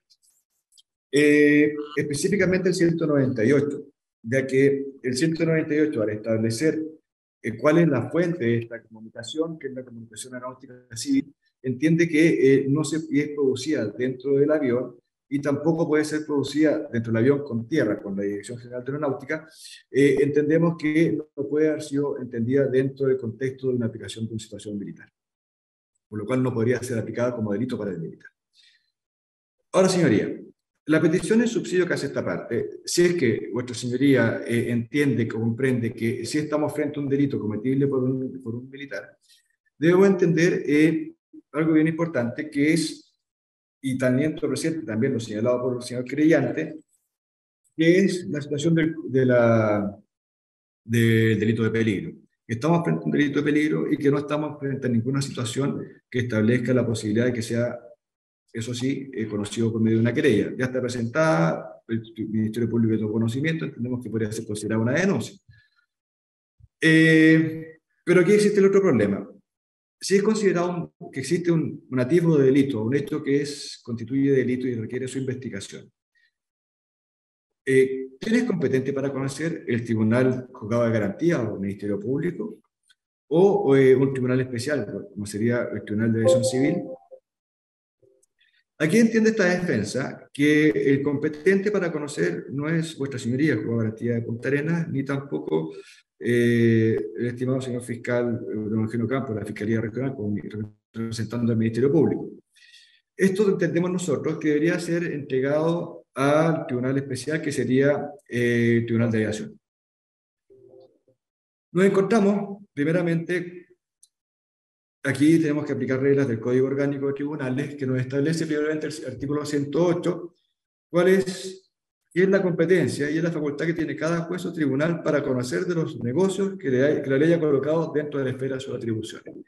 En este caso nos encontramos que eh, este negocio no puede, la ley no lo ha puesto dentro de la esfera de sus atribuciones. Esto, entendiendo que el Código de Justicia Militar nos dice en su primer, artículo primero que la ley facult, eh, la facultad de conocer en las causas civiles y criminales de la jurisdicción militar de juzgar y de hacer ejecutar los juzgados pertenece exclusivamente a los tribunales que establece este código. Artículo tercero. Los tribunales militares de la República tienen jurisdicción sobre los chilenos y extranjeros para juzgar todos los asuntos de la jurisdicción militar que sobrevengan en el territorio nacional. Artículo quinto. Nos dice que corresponde a la jurisdicción militar, haciendo en específico, el conocimiento, los puntos de, eh, de las causas por delitos militares. También, y se refiere específicamente a, conocerá también de las causas por infracciones contempladas en el Código Aeronáutico. Bien, aquí no encontramos una falta del Código Aeronáutico. En expresión a lo anterior, cometida también por un militar. Y también debemos entender que el señor Carrasco y el señor Escobar también son militares, entendiendo lo que señala el artículo sexto y noveno del Código de Justicia Militar, en el cual el artículo sexto nos señala que se consideran militares los funcionarios pertenecientes a las Fuerzas Armadas y de Carabineros de Chile, constituidos por el personal de planta, personal llamado al servicio y el personal de reserva llamado al servicio activo para efecto de determinar la competencia del tribunal militar y la calidad militar de, de poseerse el momento de la comisión del delito, situación que estamos presentes. Recording stopped. tenemos un Eh. problema de, de grabación. Eh, Le ruego un pequeño proceso para volver a retomar la grabación. Ningún problema, señoría. Lo entiendo. A ver ahí, ¿estamos grabando? Recording in progress. Continúe, continúe, señor abogado. Adelante. Bien, muchas gracias. Luego, el artículo noveno, redundando un poco en una idea, una idea para redondear la idea con respecto a la jurisdicción militar del Código de Justicia Militar, dice que, no obstante lo dispuesto en los artículos precedentes, serán juzgados por los tribunales ordinarios los militares que se hicieren procesados por delitos comunes, cometidos en ejercicio propio de su, de su destino, eh, eh, de un destino público civil. No estamos frente a un delito común, estamos frente a un delito especialísimo que está establecido en el Código Aeronáutico. Y asimismo que el Código Aeronáutico incluso hace la nueva remisión y nos dice que establece claramente la competencia de los juzgados militares por, la infrac- por las infracciones con carácter de delito establecido, esto lo establece el artículo 201, y nos dice que los procesos a que den lugar los delitos previstos en este código serán de competencia de los juzgados de aviación y se sujetarán al procedimiento establecido en la misma norma y la norma.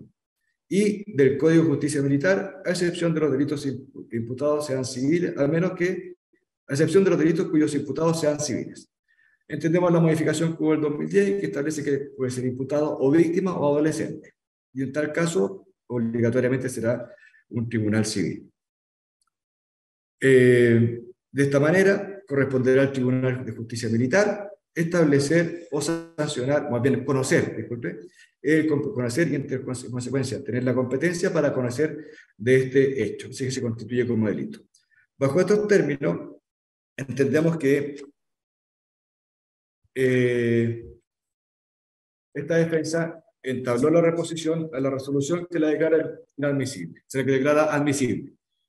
Resumiendo, eh, legitimidad activa, no existe víctima, no está el funcionario correspondiente para hacer querella, eh, no afecta a ninguno de los tres elementos posibles señalados, eh, y segundo, si se considera no puede considerarse delito por cuanto la acción es cometida por un militar, y, o sea, la comunicación no es comunicación aeronáutica, es una comunicación que hace la DGAC, si bien con sus funciones, pero la hace primeramente no por los medios aeronáuticos, que una comunicación aeronáutica son aquellas realizadas por aire, vía tierra, aire, aire, tierra, para establecer la seguridad de la aeronave.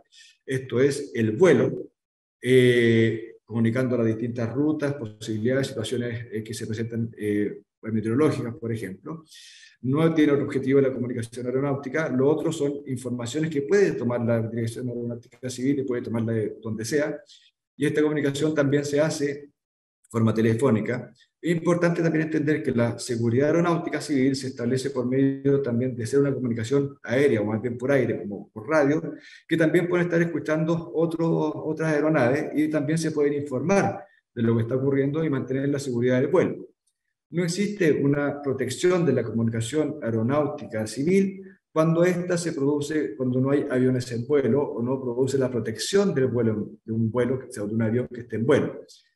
Lamentablemente, el eh, 990, el 130, ya había caído y, e independientemente de esto, de si la aeronave se encontraba en vuelo o supuestamente, supongamos, hubiese llegado a March, esta comunicación eh, o no hubiese llegado a otro lugar, eh, esta comunicación tampoco tendría el efecto de afectar la seguridad de esta aeronave, que entendemos eso, ni tampoco otra posterior, ni otra que se encontrase en vuelo, ya que la comunicación fue una comunicación cerrada, fue una comunicación que se encontraba dentro, o sea, vía telefónica, no existía una escucha por otros operadores, otros operadores o otras aeronaves.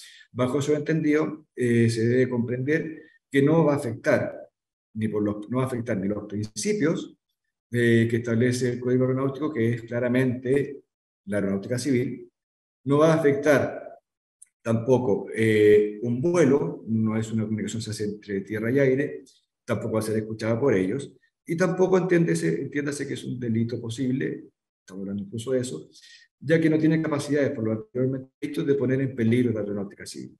Eh, esos son los términos de la reposición que señala esta parte y en consecuencia solicita directamente que se declare inadmisible la querella y eh, en específico que se modifique la resolución de fecha 9 de diciembre de 2023 y se señale que eh, es inadmisible la querella. Muy bien, entonces hemos escuchado atentamente la exposición del recurso de reposición y la petición subsidiaria del abogado Cristian Ahumada. También como tiene relación conexa con lo expuesto por el abogado. perdón, perdón que interrumpa, solo para claridad y también para las argumentaciones del Ministerio Público, eh, no sé si fue alguna omisión involuntaria ¿no? del colega defensor Ahumada, pero su petición subsidiaria entiendo que va a pedir que los autos sean conocidos por la Fiscalía de Aviación, ¿no? Para ser concordante con su petición subsidiaria. Eh, Sí, señor Eugenio, disculpe, creo que se me, pero ah, está en el contexto, pero sí es así. Muy en el contexto, la pregunta concreta de la subsidiaria es aquella. Eh, si bien no existe un formalismo expreso en el, proceso penal, pero para dejarlo más claro, es la petición subsidiaria, conocimiento del asunto correspondiente al 198, o sea, o sea o los hechos relacionados a la querella por el artículo 198 del Código Aeronáutico sean conocidos por la jurisdicción militar, especialmente el Tribunal de Aviación. Ya, muy amable, gracias. gracias. también la precisión efectuada por el fiscal regional. Muchas gracias. Magistrado. Sí. Sí, por acá Matías Canales, disculpe. Entiendo que si la petición de subsidio va a ser discutir en este caso la incompetencia, tienen que estar todos los intervinientes presentes. Entiendo que es una norma de orden público y los intervinientes que se dispensaron fue precisamente porque se iba a discutir la ampliación de las querellas. En este caso, no la incompetencia. Y como se está planteando aquello, no podríamos discutirlo, esta defensa entiende, o sea, este creyente entiende a día de hoy, ya que adolecería de un vicio insalvable de nulidad. Eh, a ver, eh, creo que no es así, pero de todas maneras, ¿quién se adhiere a lo eh, planteado por el querellante abogado? A ver, ¿quién? Porque no tengo su nombre ahí completo, por ah, favor. sí, Matías, Matías Canales, pues, señoría. Gracias. Eh, ¿Quién se adhiere a lo solicitado por el abogado querellante Matías Canales? Su señoría. Adelante. Sin Alfredo Morgado, eh, eh, entiendo perfectamente su consulta y, y, solamente para precisar, es decir, la incompetencia que está solicitando el colega está relacionado exclusiva y excluyentemente referido a, eh, la figura del código aeronáutico eh, que ha sido materia de su lata exposición, no sobre eh, otras materias. No, e-, efectivamente, así entiendo yo y así se ha expuesto latamente. Por, por, por lo tanto, yo al menos no, no, me pondría porque es parte de la discusión eh, que se ha decantado desde un principio, una vez aclarado el punto eh, por todos los intervinientes y resuelto así por usted, su señoría. Bien. ¿Alguien más? Sí. Eh, sí, solo su señoría creo que ahí no, no, merita más debate, en, atendido que ya nos hemos extendido bastante, creo que es súper claro, creo que el colega mal entendió esta situación y claramente nos estamos circunscribiendo a la querella que fue que estamos incidentando, no tiene nada que ver el otro, el otro delito, su señoría, creo que debe resolverse derechamente eso. Correcto. Bien, entonces para efectos de no ir eh, dilatando aún más esta audiencia eh, especial, evidentemente se circunscribe a eh, el, el, el, recurso de reposición a la ampliación de la querella deducida por el interviniente ya aludido en la exposición que ya se ha hecho, evidentemente. Entonces, eh, sin eh, más dilaciones y dado que eh, el otro recurso de reposición interpuesto por el querellado Ricardo Ignacio Villagra Cornejo, representado por el abogado don Álvaro Rodrigo, Rodrigo Bello Fuentealba, evidentemente tiene conexión estrecha con ya expuesto por el abogado don Cristian Ahumada. Le doy la palabra al, al abogado defensor. Gracias, su señoría. Bueno, primeramente me adhiero todo lo ya señalado por, por, mi colega don, don Cristian Ahumada. Eh, seré breve, eh, seré breve en esta, en, en, este, en esta etapa.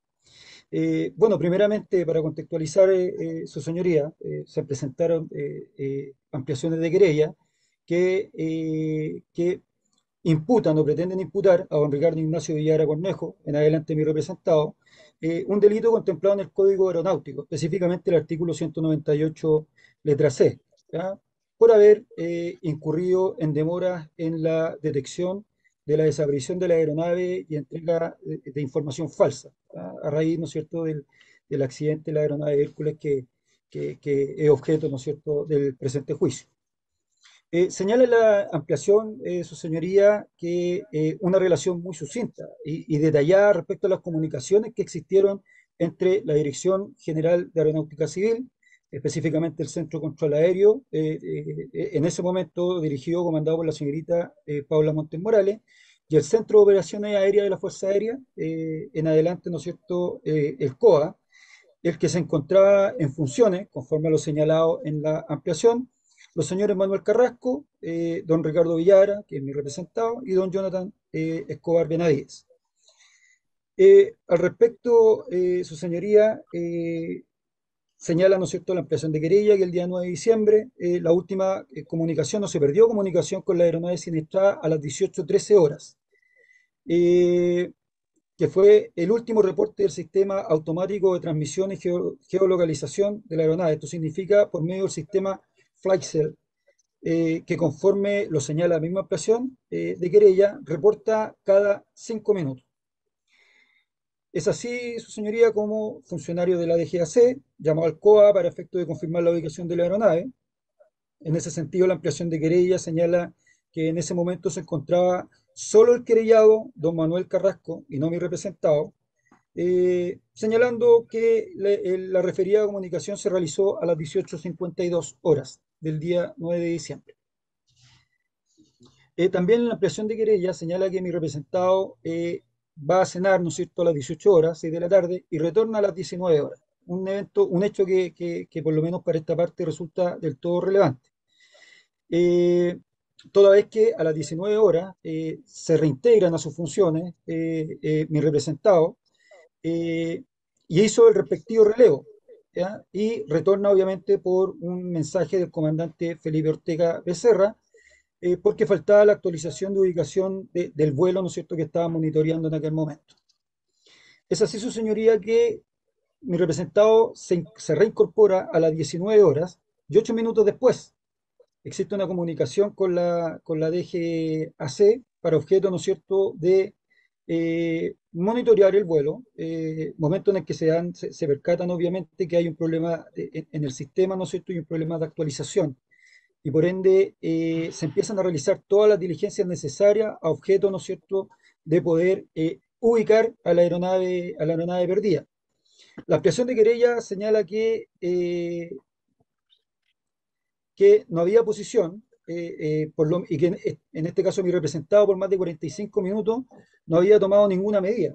Hecho que para esta parte, ¿no es cierto?, es incorrecto, considerando que mi representado se reincorpora a las 19 horas. Y en ese momento procede a actualizar el sistema que tenía intermitencia, ¿no es cierto?, mayor a 5 minutos, considerando eh, eh, el lugar donde se encontraba la aeronave y también eh, el- algunas circunstancias, ¿no es cierto?, algunos elementos de orden climático que impiden y que es conocido de público conocimiento que dificultan de alguna otra forma la- la- una comunicación fluida.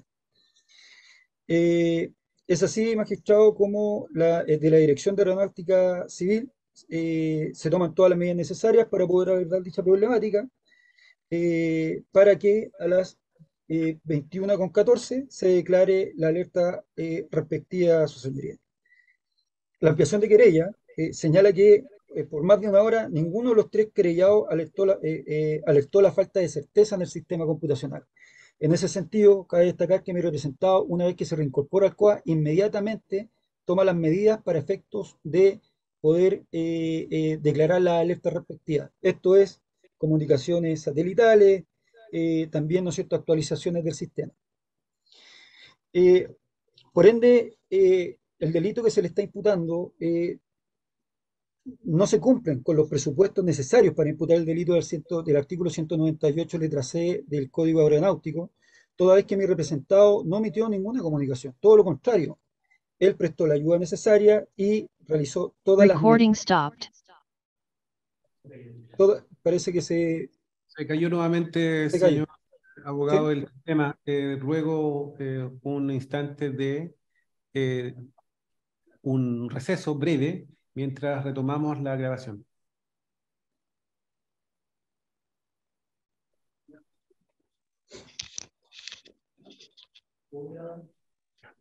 Ya.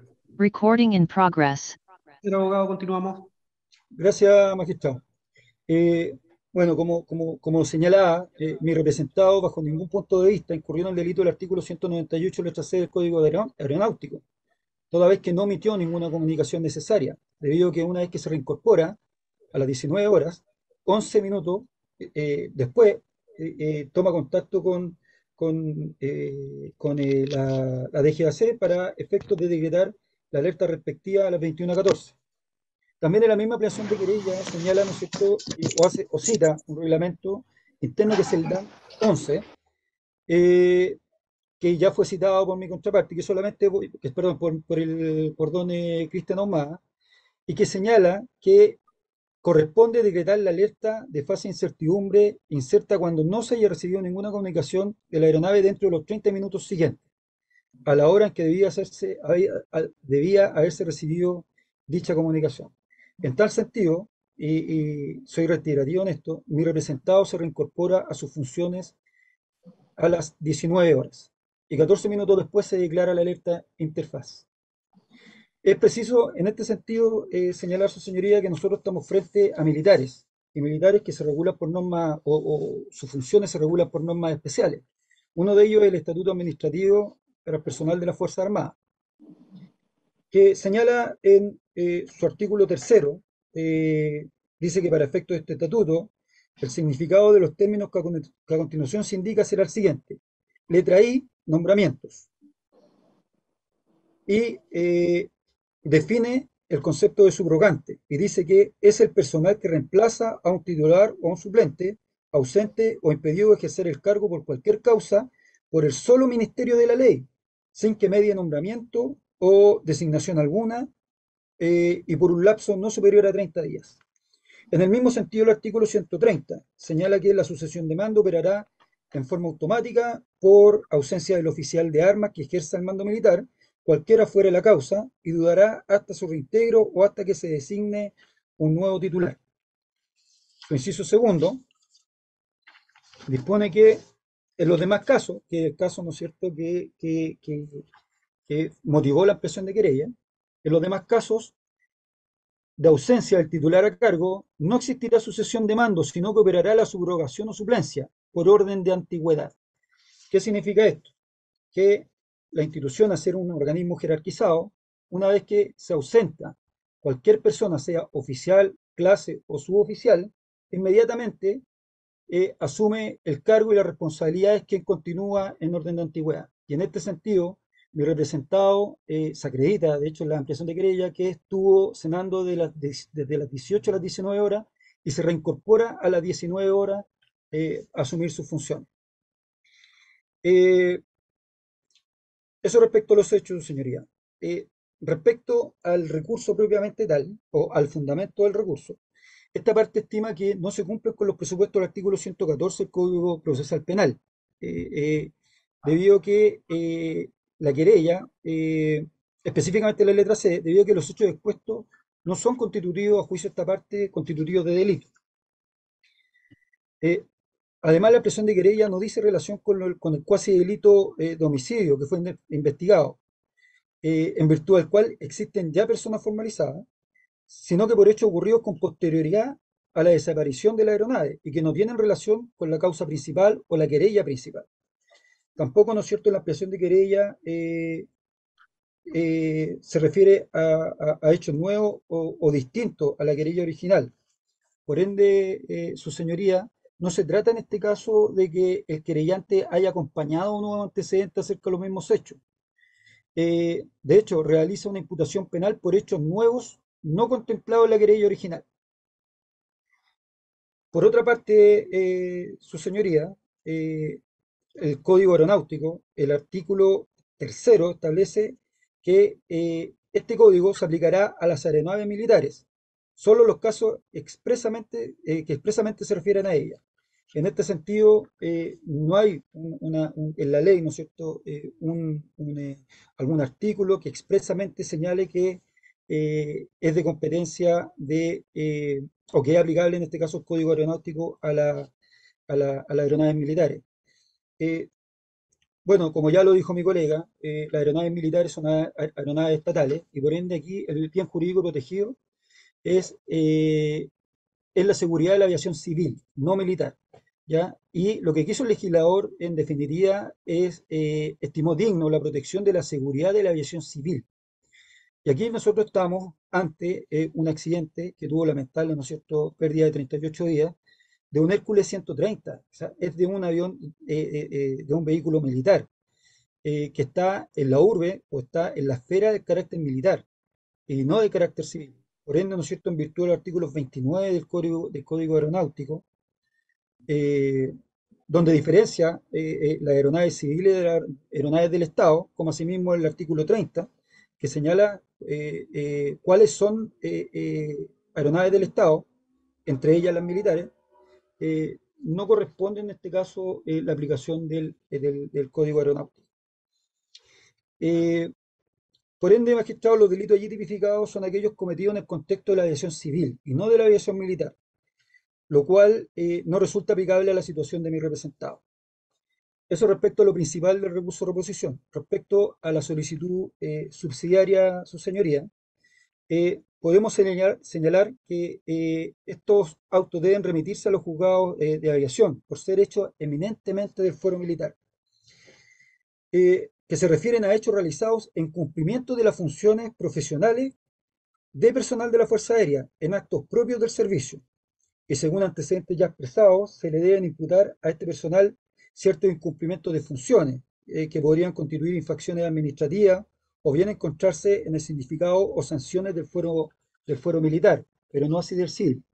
Es así magistrado como el artículo tercero del Código de Justicia Militar dispone que este, este, este código o, esta norma especial es aplicable, ¿no es cierto?, o, se trata de los delitos cometidos por militares en el ejercicio de sus funciones. Y mi representado estaba en el ejercicio de sus funciones. Eh, por ende, eh, su señoría, eh, esta parte estima que el Ministerio Público, ¿no es cierto?, ni los tribunales ordinarios de justicia en este caso son competentes para conocer de los hechos que se le pretenden imputar a mi representado en, el, en, en, en auto, eh, ¿no es cierto?, que corresponden a fuero militar. Eh, no obstante ello, señoría, en el caso que fuera rechazada también este, este requerimiento, hay que considerar que tener presente lo establecido en el mismo, en una norma especial que el mismo Código de Justicia Militar, la que hace referencia a la expresión de querella, específicamente en el artículo quinto, que señala, corresponde a la jurisdicción militar el conocimiento. Número uno, inciso, inciso segundo, conocerán también de las causas por infracciones contempladas en el Código Aeronáutico. Eh, al respecto, la, ley que cita la ampliación de querella, que es la 20.477, que incorporó algunas modificaciones en relación a la competencia, juzgado lo, lo, los tribunales militares, no hace ninguna modificación a este artículo. Y no se refiere a este artículo.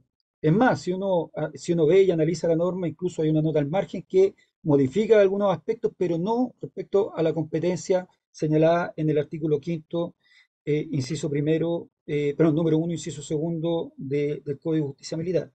Es por todos los puestos, su señoría, que solicita que se acoja el recurso, que se declara admisible la querella, y en subsidio, señoría, que es el, el tribunal se declare, eh, eh, se declare incompetente y remita los antecedentes, ¿no es cierto?, al, a los tribunales de aviación para que conozca de los hechos. Gracias, señor. El tribunal lo tiene presente al momento de resolver. Le vamos a dar inmediatamente traslado a eh, los abogados eh, querellantes, en este caso, en primer lugar, al abogado don Cristian Arias Vicencio. Gracias, señoría. Eh, nosotros, respecto de la inadmisibilidad de la querella, como primera cuestión que surge como bastante evidente, que se han hecho alegaciones de fondo, eh, cito dos ejemplos. El caso del abogado Bello dice que su cliente no omitió ninguna comunicación. Eso es una defensa de fondo que no corresponde eh, ni a lo que él pidió conforme el 360, que reitero la relevancia que tiene eh, respecto de que estamos resolviendo un recurso de reposición, está circunscrito el debate aquello, pero demuestra que no están haciendo una inadmisibilidad que es una defensa de fondo. Se omitió o no omitió algo, si el concepto subrogante o suplente aplica o no aplica, además, en este estado procesal, entrar a determinar, porque es una cuestión fáctica, no, no, no, él no está hablando de un decreto que se dictó, no, no, está en, en, el, en, lo fáctico que pasó ahí, si hubo una suplencia, todo eso son alegaciones de fondo que con eso ya bastaría para decir no, no corresponde esta discusión. Pero ya voy al, al, al problema de forma, al que sí están las reposiciones. Esto ni siquiera debe ser oído. Lo mismo pasa con la defensa del colega Ahumada, que en verdad a mí, quiero decirlo, indigna un poco. Es de fondo, pero es inaceptable. Él dice que las comunicaciones, estas comunicaciones que se referían a una aeronave en vuelo, no eran de carácter aeronáutico. Y pone unos ejemplos que son absurdos. ¿Qué pasa si están comunicándose con los bomberos, con un mecánico? No, señoría. Esto era el control de tráfico de una aeronave con 38 personas. Entonces, ese argumento, además de que no está en su reposición, es novedoso, 100% novedoso, no está, excede el 360, es indignante porque es absurdo los ejemplos que da y cómo no va a ser... Mire, es tan indignante que dice lo siguiente, nuevamente es cuestión de fondo, dice, la aeronave ya se había caído. Entonces, estábamos hablando, no voy a decir nada muy, muy duro porque hay, hay, esta, esta audiencia está siendo vista, pero eso está diciendo, ya, ya habían fallecido. Eso no es cierto, señoría. No está determinado cuánto, desde el del momento exacto en que la aeronave cayó, cuánto tiempo siguieron mintiendo después de caer la aeronave o si lo están haciendo desde antes. Esa es la verdad. Entonces, argumentos de fondo indignantes. Ahora vamos, vamos a la forma, a la, lo que de verdad corresponde a analizar en una inadmisibilidad de una querella. En primer lugar, que los hechos son constituidos de delito, claro que lo son el 198 del Código Aeronáutico tiene dos hipótesis que son las planteadas en la querella. Eh, entonces, en la dialéctica incluso de los propios defensores, no es que los hechos no sean constituidos, dice que es un delito que a ellos no les aplicaría porque el sujeto activo sería solamente un civil. Tan es así que la petición subsidiaria pone en evidencia esta mascarada de que estamos diciendo que esto no es delito. Claramente es delito. ellos dicen que si es militar, si es civil, pero que es un delito. Por tanto, no, entra dentro de la hipótesis de inadmisibilidad de querella expresamente contemplada eh, para, esa, para ese reclamo. Eh, segundo, que los delitos, eh, que estos delitos deben ser conocidos por un juzgado de aviación, pero se le olvida a, la, a la defensa perdón, lo que dice el 201 del Código eh, Aeronáutico. Y justamente dice el 201 que e, estos delitos van a ser eh, conocidos por justamente los jugadores de pero salvo que existan personas civiles involucradas. Si el 201 contempla expresamente esta posibilidad es porque evidentemente son delitos que tienen sujeto activo amplio, como lo señala la querella. No es solamente los militares, también civiles, sino esta excepción que pone el 201 no tendría el menor sentido. Eh, después sería el, el, argumento formal de que el título tercero del Código Aeronáutico se refiere exclusivamente a que estas conductas solo son delictivas cuando se refieren a la aviación civil, porque es cierto, textualmente lo dice el epígrafe que está en el título tercero. Bueno, sería el epígrafe no es decisivo, eh, es, un, es, una, es, una, es, una, ayuda interpretativa, pero claramente no es decisivo. Quiero, quiero, poner un ejemplo que todos los que trabajamos en esta área sabemos. Por ejemplo, en el Código Penal el título séptimo que habla de delitos contra el orden de las familias y la moralidad pública. Hoy día nadie entendería que es relevante que diga que es contra la moralidad pública esos delitos, sino que el bien jurídico es otro, es muy distinto. Por lo tanto, cuando un epígrafe en un código especial o general dice algo, es una guía que puede servir para interpretar, pero no es decisivo. ¿Y por qué no lo es? ¿Sabe, señoría? Porque si fuese cierto que por esa frase, aviación civil, las conductas que cometen militares eh, de dar informaciones falsas, o sea, son, son conductas muy graves, por eso se sancionan como delito, u omitirlas, tendrían una laguna de, de punibilidad que no tendría ninguna justificación razonable, ninguna. Sería solo un privilegio para los militares. Un civil miente dando información aeronáutica y tiene penas de presidio. Un eh, civil omite y tiene pena. El militar no tiene ninguna. ¿Y sabe por qué sería? Porque no existe una conducta homóloga y que debería tener incluso mayor pena en el Código de Justicia Militar. Eso pone de manifiesto que es insostenible la tesis de que esto, cuando el código en el aeronáutico, en el título tercero dice aeronáutica, aviación civil, descarta los, los autores militares. Eso no tiene ningún sentido. Más aún sería, no nos olvidemos, del relato latísimo que hizo de nuestra propia querella el defensor Ahumada, y en eso se lo agradezco porque está, está relatando los hechos, queda súper claro que durante todo, eh, y, los hechos que se le imputan como conducta delictiva a estos sujetos activos militares, es una comunicación permanente con la DGAC.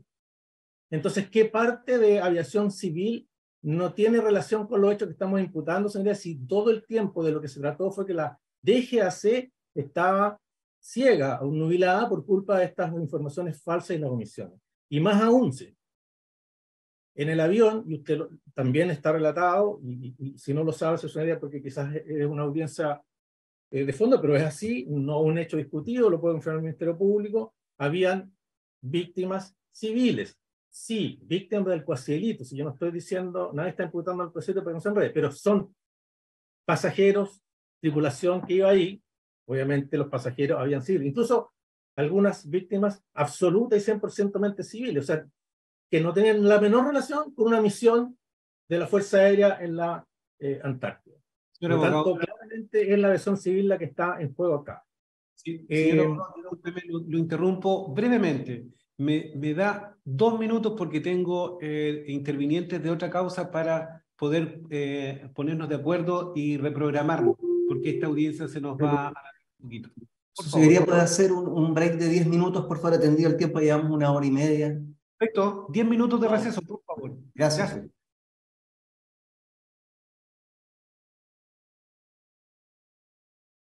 Eh, señor querellante Cristian Arias, eh, tiene la palabra. Sí, solo si me permite recapitular que, en primer lugar, los hechos sí son constitutivos de delito. Otra cosa es las interpretaciones que sepan, que tengan las defensas de a quienes se aplica o no. Segundo, que decía que el 201 del Código Aeronáutico dice que los procesos que da lugar este código, que sean de competencia de los juzgados de aviación, se sujetan a esos procedimientos, a excepción de los delitos cuyos imputados sean civiles, lo cual es una demostración ineludible frente a un título del título 13, eh, que es solamente un nomen juris, frente a esta, es evidente que el legislador sabe que pueden ser tanto autores civiles como militares.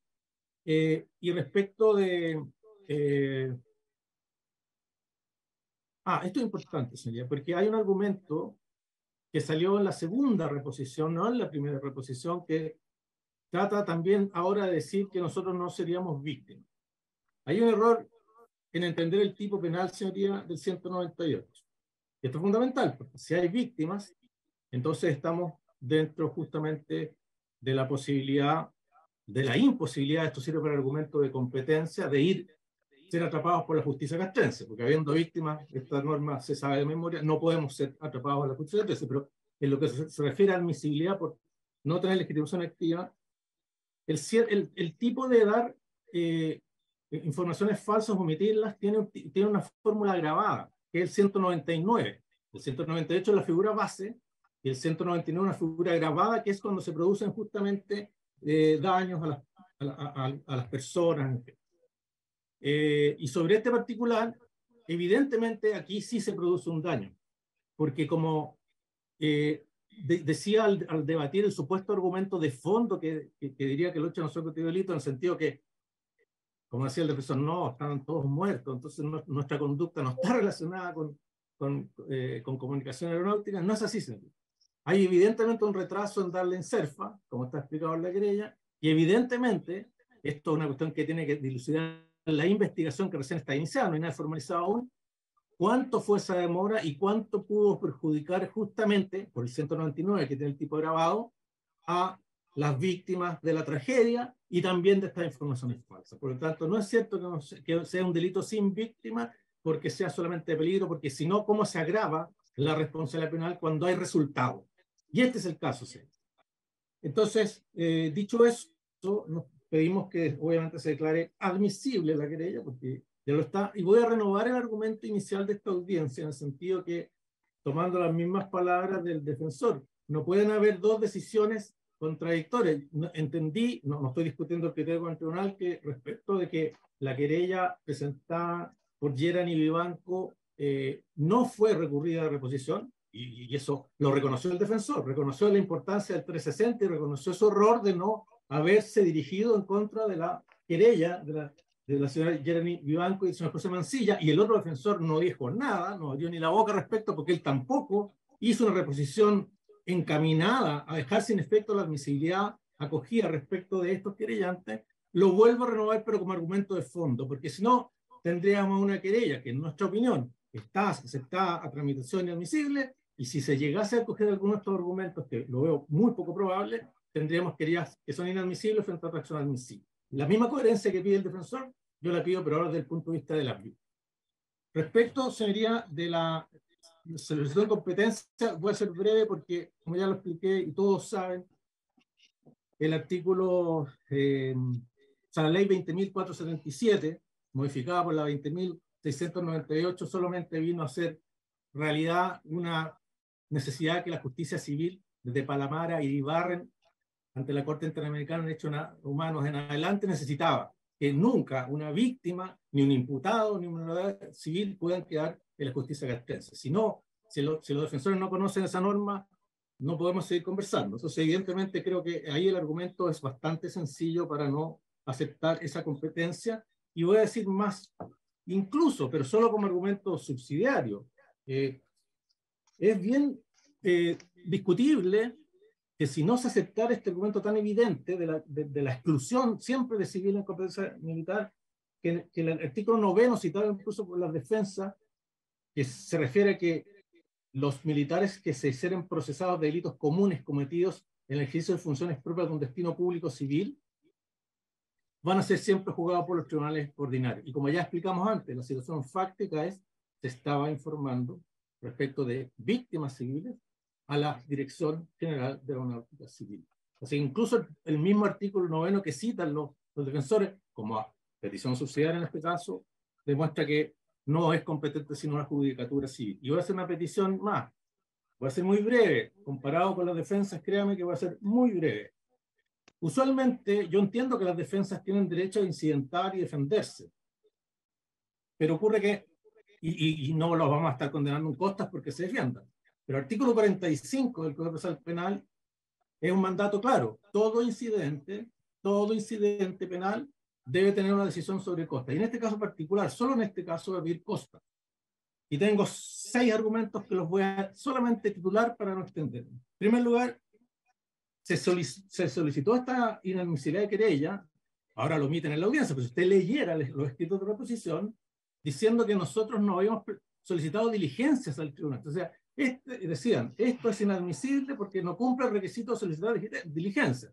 Yo presumo que no fue una mala forma de litigar, en el sentido de haber dicho algo que era falso, sino que de haber sido un copy-paste de algún escrito antiguo que tenían los defensores, pero eso no, es, no puede ser pasado por alto en las cortes. Segundo, esta discusión de admisibilidad es evidentemente una cuestión de fondo. Quedó claramente establecido en esta audiencia que estamos haciendo puras alegaciones que son de fondo. Eh, segundo, hay una tercera, una norma clarísima, el 201 del Código Aeronáutico, citado en las querellas, que demuestra que este, este delito lo pueden cometer tanto civiles como militares. No hay cómo soslayar esa, esa evidencia.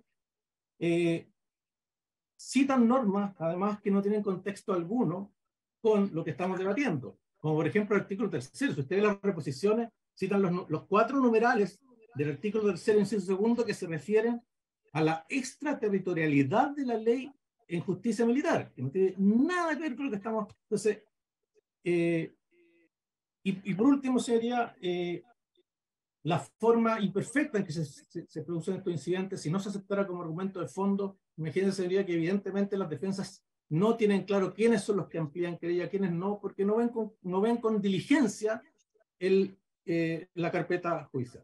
Por esas razones, además de que sean rechazados ambos incidentes, pido que en este caso excepcional se condenen costas a ambos incidentes. Eso es. Bien, el tribunal tiene, lo tiene presente al momento de resolver. Le doy traslado al abogado eh, querellante Maximiliano Delgado González.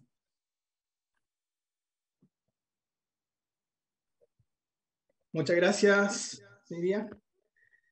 Voy a solo profundizar e, intentar algunas cosas que, que, ya nos han dicho. Desde ya, evidentemente, siendo con defensa conjunta y en otras de forma exclusiva, eh, con Cristianaria, evidentemente comparto todos los argumentos ya esgrimidos, su señoría.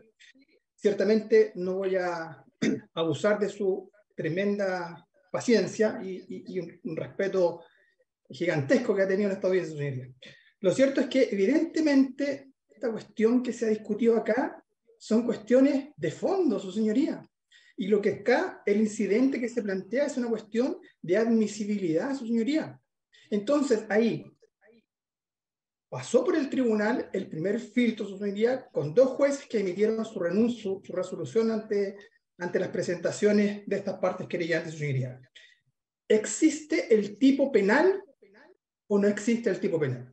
Existe, señoría. Esta conducta que nosotros hemos señalado es delito. Desde ese punto de vista, existiendo argumentos plausibles, su señoría, en este estadio procesal, no permite otra cosa que acoger a trámite la querella, su señoría, porque existe el tipo penal. Ahora, continuando con, con los argumentos que ha intentado gozar la defensa. Señalar que esto es aplicable, que no es aplicable a militares, también evidentemente es un grosero error, porque claramente no lo vamos a desconocer, el código aeronáutico se refiere a que este código se aplicará a las aeronaves militares. Pero perdón, nosotros no estamos imputando acciones que tienen que ver con la aeronave militar, nosotros le estamos imputando acciones y omisiones a personal que estaba en tierra. ¿En qué parte de esta situación se confunde eso o es posible confundir eso? Estos funcionarios son funcionarios que estaban en tierra y cumpliendo una labor de control aéreo, que está expresamente señalado en el código, expresamente señalado en la norma. Por lo tanto, intentar señalar que esto es solo aplicable a la aeronave militar, la verdad que no resiste análisis. Lo cierto, señoría, es que además todo esto ha sido una confusión tremenda, porque claramente los primeros escritos que se presentaron como reposiciones a nuestras querellas son bastante distintos y bastante acomodaticios a las alegaciones que han hecho estos dos defensores hoy en día, su señoría, al punto que nos han hecho cargo de cuestiones aberrantes. Y quiero ser majadero en eso, su señoría. los escritos han referido y nos hemos tenido que hacer cargo nosotros como querellantes y también el Ministerio Público de argumentaciones que le hemos plasmado por escrito. Hemos señalado que cómo es posible que nos diga que no cumplimos con la solicitud de diligencias, es decir, que la, la querella debe ser declarada inadmisible porque no cumple con los requisitos del 113, su señoría, si claramente en la suma del escrito está establecido las diligencias. Más aún, el Ministerio Público, al recibir los, los antecedentes remitidos por el juzgado de garantía, decretó diligencias, y decretó las diligencias que nosotros pedimos. Entonces, no puede ser que estos defensores, su señoría, litiguen más de tres horas, su señoría, leyendo la querella y esbozando argumentos que son derechamente faltos a la verdad y con la falta de prolijidad que han tenido y que no sean condenados en costas. Porque además hay norma expresa que su señoría podrá eh, opinar en contrario a esta defensa, a, a, este querellante, pero tiene que pronunciarse sobre las costas. Continuando, su señoría, que esto no es aplicable, finalmente generan toda una discusión para finalmente decir, pero mire, lo verdad y verdaderamente, sacándonos un poco, siendo transparente, lo, lo verdaderamente que se quiere en este caso, señoría, es que esta situación sea conocida por un juzgado militar. Y esa situación es absolutamente impresentable hoy en día. Y ha habido norma expresa que lo que busca es modificar esa situación en Chile. Que las actuaciones, por sobre todo donde estén involucrados civiles, víctimas o imputados, sean de conocimiento de la judicatura militar. Y eso no tiene más que sino estar conteste no solo con la norma positiva que se ha ido modificando, sino con los tratados internacionales, uniría, que hace mucho rato vienen generando esa recomendación a Chile que la justicia militar no debe existir en tiempo de paz. No debe existir en tiempo de paz.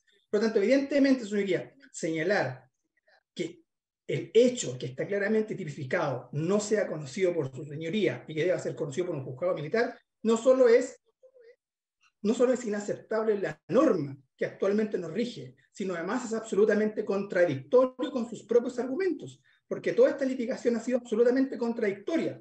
Parten diciendo que esto no es delito, parten diciendo que no hay víctima, para finalmente terminar diciendo que la verdad es que efectivamente el delito debe ser conocido por un juzgado de aviación. ¿No es cierto? Señoría que ninguno de los antecedentes pueden ser ni siquiera tomados en cuenta, su señoría. Sobre todo entendiendo que este es un examen de admisibilidad que ha sido incidentado, su señoría.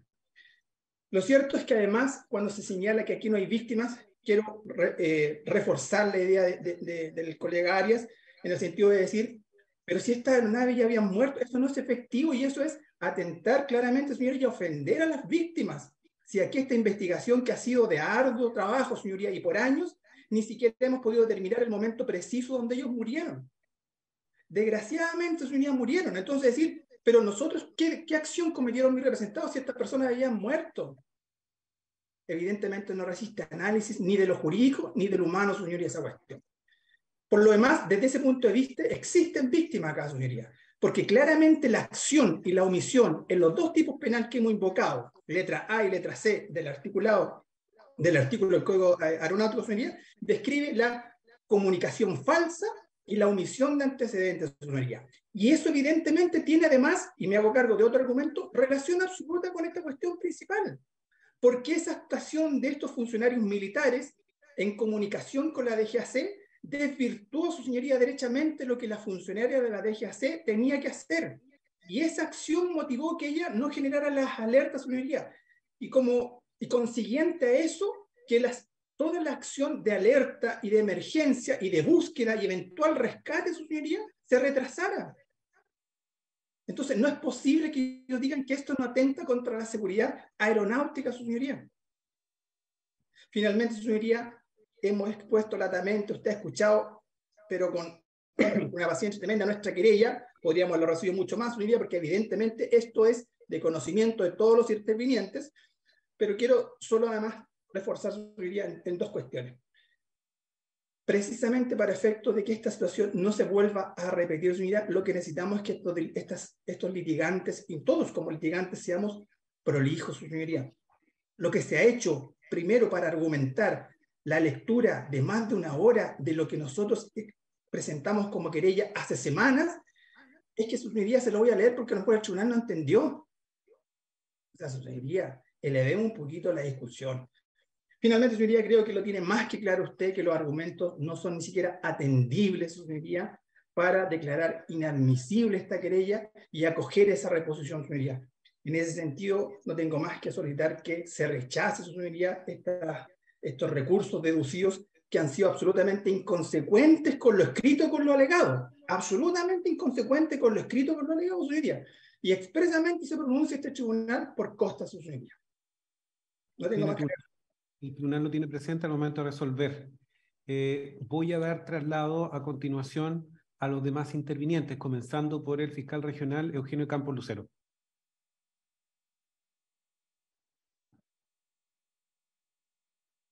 ¿Está apagado su micrófono, fiscal? Gracias, magistrado. Ahora sí. Ahora sí. Eh, su señoría se escucha bien, ¿no? Sí, perfectamente.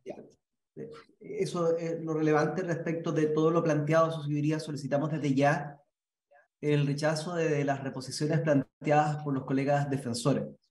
Eh, hemos escuchado, como se indica, ya esta audiencia lleva más de dos horas y media.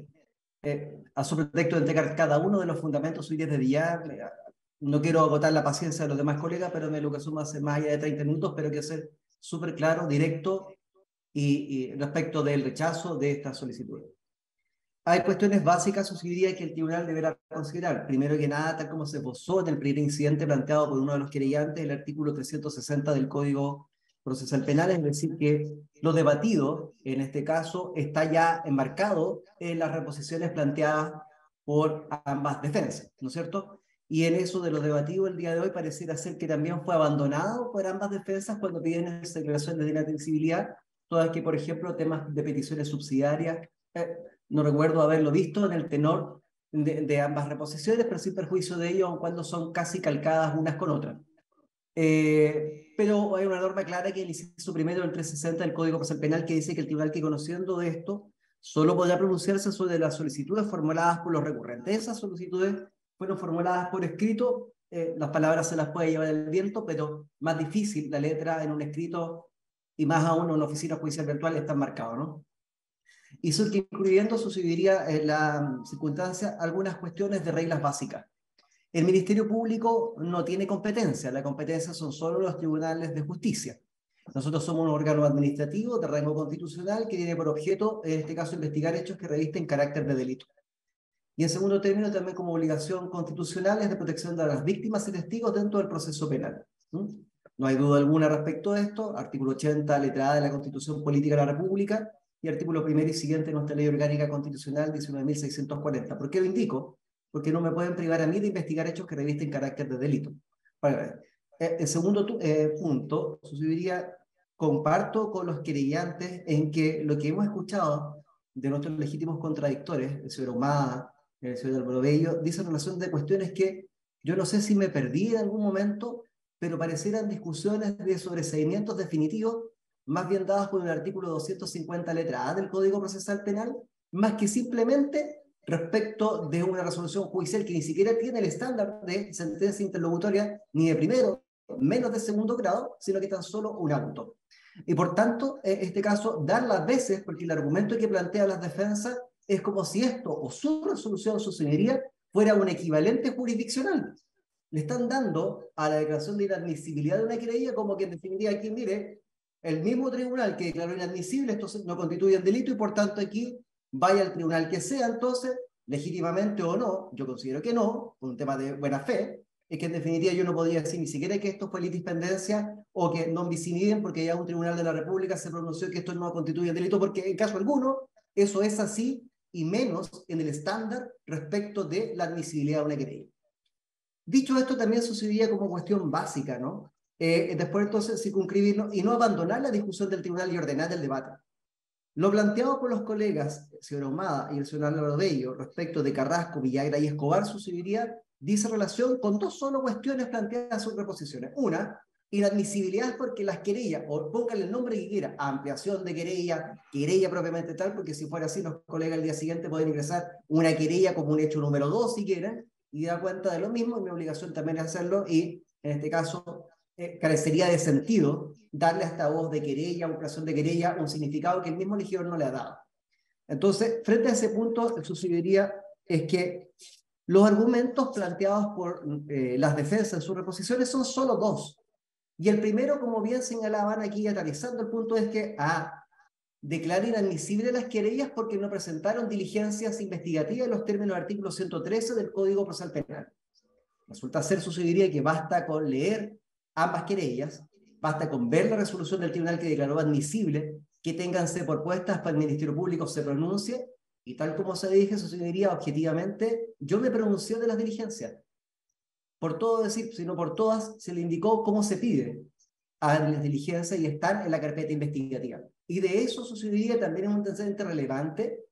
Las defensas no han señalado nada, incluso respecto de la carpeta investigativa, lo que fiscal mire, no ha lugar todavía, o mire, no decrete el oficio, o no, no cite, porque la reposición todavía, como una especie de efecto suspensivo, que no lo tiene, por cierto, pero podría ser un argumento que tampoco lo es también aquí eh, sucedería más. Yo creo que hay un antecedente de hecho procesal muy importante.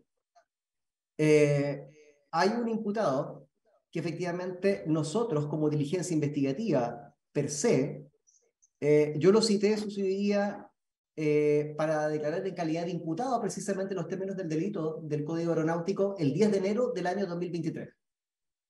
Y ese antecedente es sumamente relevante, porque yo la verdad que definiría como que dijéramos, porque estamos acá discutiendo si la investigación ya se inicia desde enero del 2023 y no en razón a las querellas o ampliaciones de querellas de los colegas Aria y Maximiliano Delgado respecto de las víctimas que ellos representan. Es un importante punto, sucedería claro.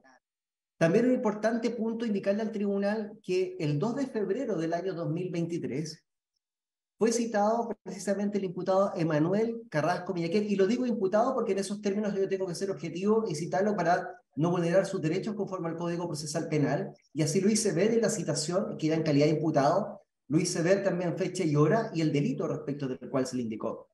Y el 2 de febrero del año 2023 compareció a la Fiscalía Regional el imputado en cuestión y compareció acompañado de defensa letrada.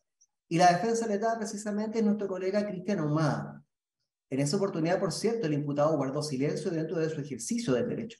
Y quiero plasmar con un hecho de carácter procesal, sucedería que esta investigación no se inicia en razón a las queridas, sino que es una cuestión propia que el tribunal lo sabe, eh, a los que tramitamos bajo el sistema antiguo, bajo el Código de Procedimiento Penal, lo sabíamos, eh, de hecho ya me voy a referir a aquella parte, del Código de Procedimiento Penal, que es el que rige el Código de Justicia Militar, más no el Código Procesal Penal, y marca notables diferencias también.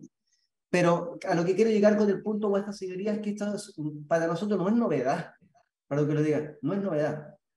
Y me atrevo a decir que también para la Fuerza Aérea de Chile tampoco debiera de ser novedad, porque el sumario administrativo que la Fuerza Aérea de Chile evacuó, terminó con un dictamen fiscal, si mal no recuerdo, pasaron dos años, ¿no? Sí, eh, octubre del 2021, y en octubre del 2021 el mismo fiscal, si mal no recuerdo, eh, ordenó en definitiva remitir oficios para que se investigaran dos hechos respecto de COA o Centro de Operación Aérea y respecto a un tema de carga, quiero ser eh, preciso, sucedería, pero esas circunstancias también son motivo de una investigación administrativa. Quiero decir que ya, ya incluso el administrativo pudo haber dicho, hoy hay algo que huele mal, ¿no? y que permite al menos determinar cuestiones de carácter administrativo. Y lo quiero llevar efectivamente para que no me vengan a decir, perdón que lo diga de esta forma, en esta etapa procesal que los hechos no constituyen delito, porque eso es aquí y donde fuera una cuestión sucedería, iba a decir una, otra cosa, aquí y donde sea, eh, un hecho que reviste carácter de delito, ¿no? Y, y, el hecho que reviste carácter de delito, eh, como lo diré más adelante, pero ya haciéndome cargo incluso de las dos alocuciones de las, de, de las defensas, no tiene sentido que se declare inadmisible. Pero bueno, siguiendo el orden lógico, primer argumento dice que se rechace porque no tienen diligencia. Eso no es efectivo, eso no es real, pues efectivamente ambas querellas tienen diligencia. Y si me pregunta el Tribunal Fiscal, ¿usted se pronunció en la diligencia? Sí, sucedería, va a ser la respuesta, me pronuncié esa diligencia. Oiga, ¿y despachó su oficio? Sí, sucedería, despaché sus oficios. Entonces, primer argumento respecto al cual se pretende declarar esto inadmisible, ya no corre porque no es real, no, es, no, no existe la vía del derecho. Eh, de hecho, tengo una presentación, en un otro sí señala, Cecilia declarada en calidad de imputado al querellado señor Carrasco, al señor Villagra, al señor Escobar. Dos, Cecilia declarada en calidad del Ministerio Público a doña Paula Montes Morales, que entiendo que es la funcionaria de la DGAC. Tres, se oficia la DGAC ubicada en, no quiero leer todo, pero hay diligencia. Primer argumento, entonces, sucedería respecto del punto de vista rechazado, que se rechace esta solicitud de inadmisibilidad.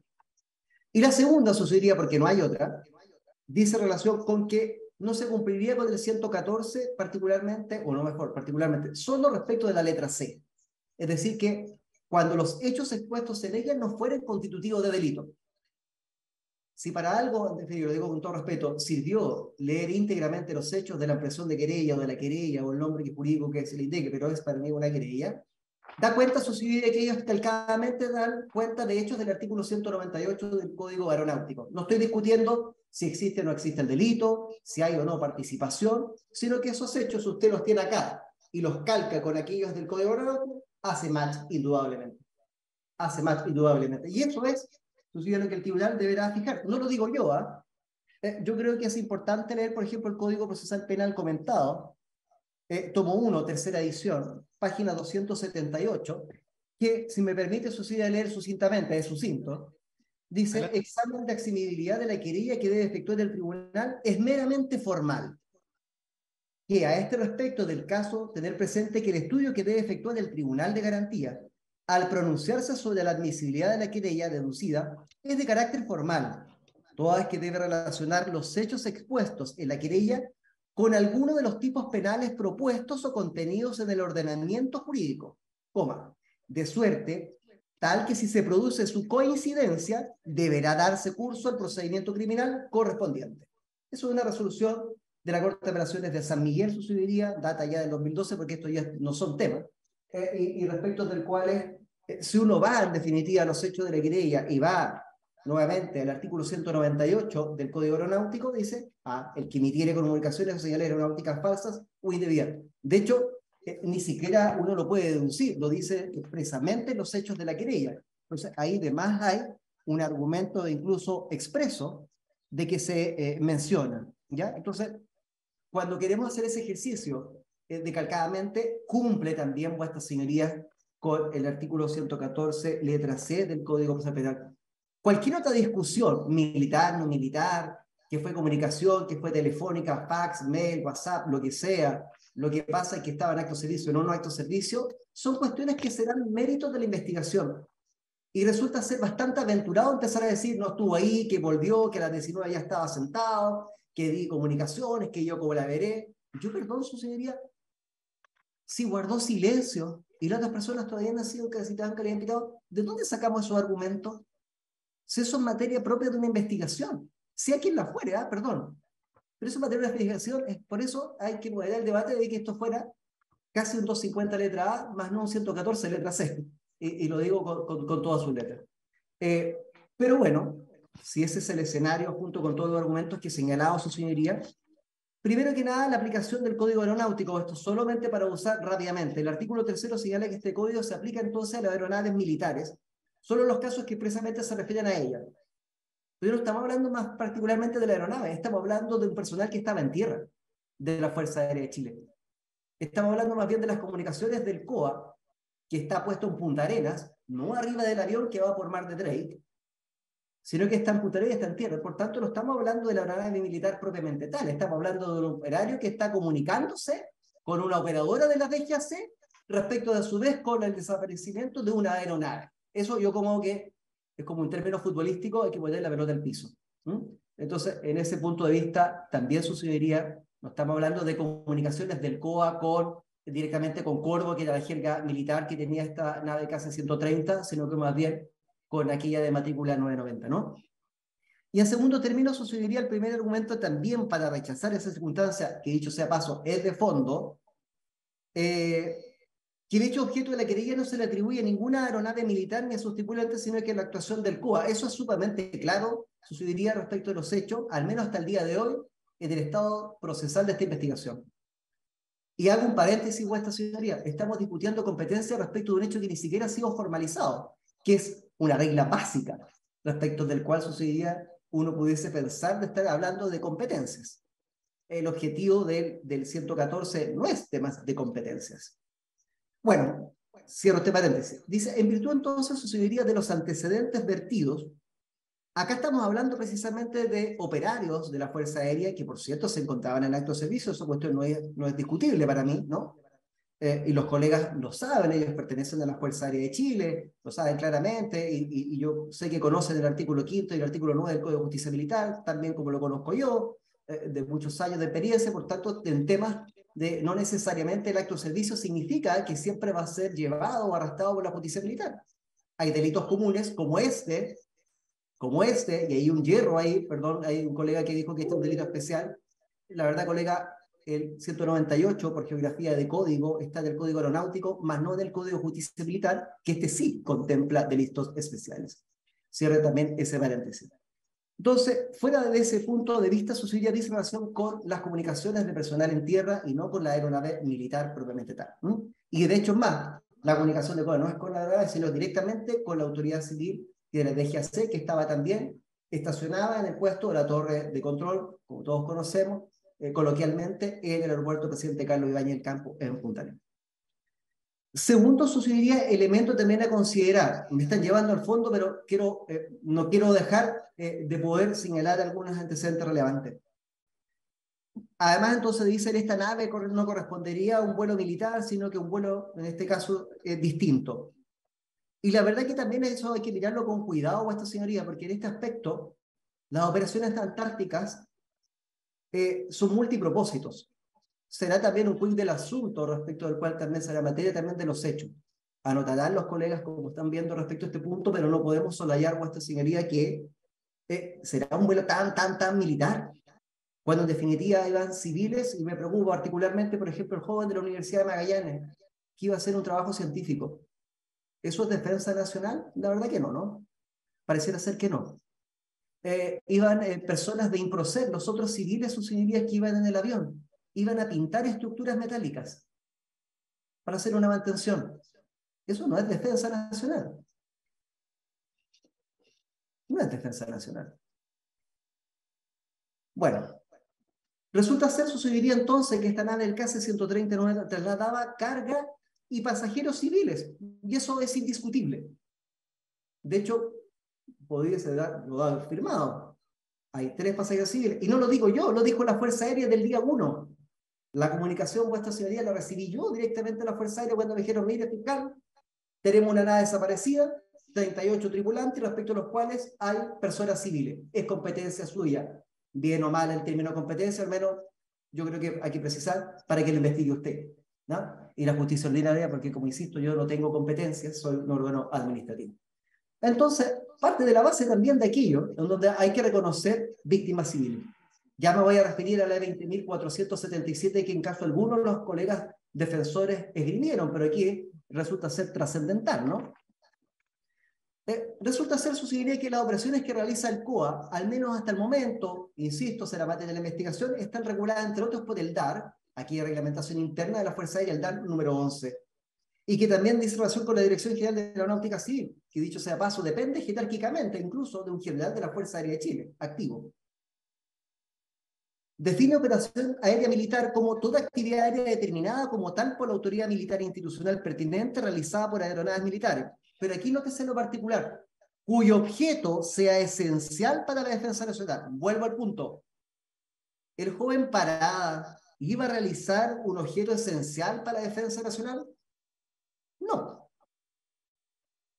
Las personas que eran trabajadores de Improcer, empleados civiles, o más bien ni siquiera empleados civiles, contratados por la Fuerza Aérea para una determinada tarea, ¿estaban realizando actividades esenciales para la defensa nacional?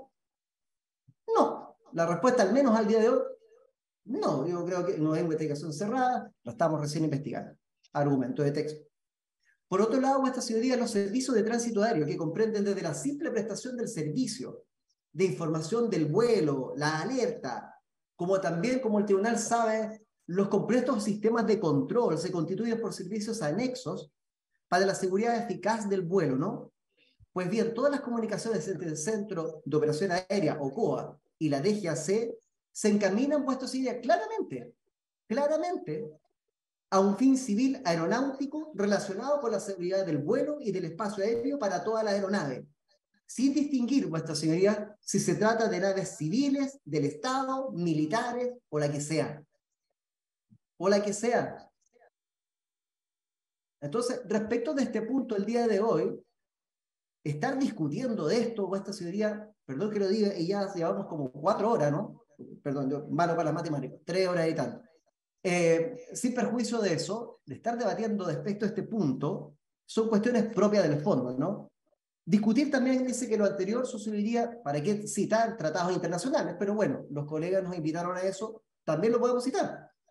Lo anterior sucedería se ve refrendado por las prestaciones del Servicio de Búsqueda y Salvamento Aéreo, que se denomina SAR, que corresponde a un compromiso del Estado de Chile. ¿Ante quién? Ante la Organización de Aviación Civil Internacional la citada como OASIS, ¿no? Y resulta ser que eso durante las 24 horas del día, siendo de exclusiva responsabilidad de quién? ¿De quién depende eso? De la Fuerza Aérea de Chile. El ejecutar y coordinar la aplicación de las normas internacionales establecidas. Decreto Supremo 708, su señoría. No me quería referir a esto, yo no lo digo, yo soy un simple abogado.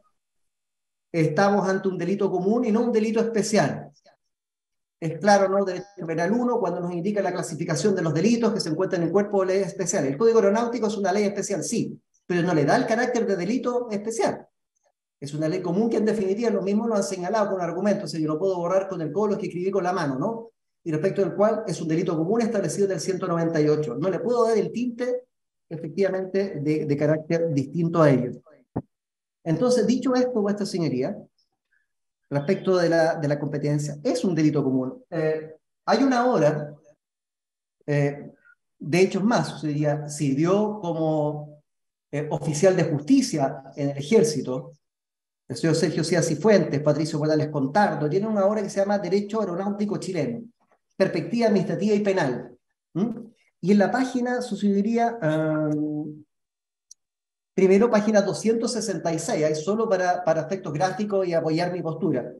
En todos ellos el sujeto activo es indeterminado, por lo que su autor puede ser cualquier persona, sin necesidad de calidades especiales. Y se está refiriendo a los cinco tipos penales del artículo 198 y siguientes del Código Aeronáutico. Es más, también me voy a referir a ese punto. La página 280 de ese mismo libro establece lo siguiente, a mayor abundamiento y que es súper atingente también a tema de discusión. Vuelva sobre el punto. Es como si estuviéramos discutiendo trabar competencia cuando ni siquiera hay un tribunal que está nos está trabando, ¿no? A mayor abundamiento, el artículo quinto de justicia militar señala que son de competencia de la justicia militar los delitos comunes cometidos por militares en campaña, en acto de servicio o dentro de recintos militares. Dado que se entiende que los delitos comunes son aquellos que no se contemplan en el código castrense, ya sea que estén ubicados en el código penal o en leyes especiales, los delitos aeronáuticos son delitos comunes. No lo digo yo, lo dice ya no solo la ley, ahí tenemos un autor, hay una obra que también se pronuncia que son delitos comunes. ¿Mm? Más adelante me voy a referir al artículo 5 y 9 del Código de Justicia Militar con detalle.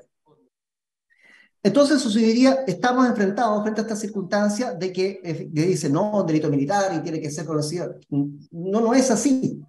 Eh, el artículo entonces en cuestión, acá da la solución, porque si uno quiere empezar a conjugar el artículo quinto, número 3 del Código de Justicia Militar, eh, acá lo tengo, artículo quinto, número 3, dice, de las causas por delitos comunes cometidos por militares durante estado de guerra, estado de campaña, en acto de servicio militar o con ocasión de él, en los cuarteles, campamentos, vivanques, fortalezas, obras militares, bueno, un sinnúmero, pero señala su señoría que esa norma del artículo quinto, número 3, debe siempre, siempre relacionarse, conjugarse, armonizarse con el artículo 9 del Código de Justicia Militar.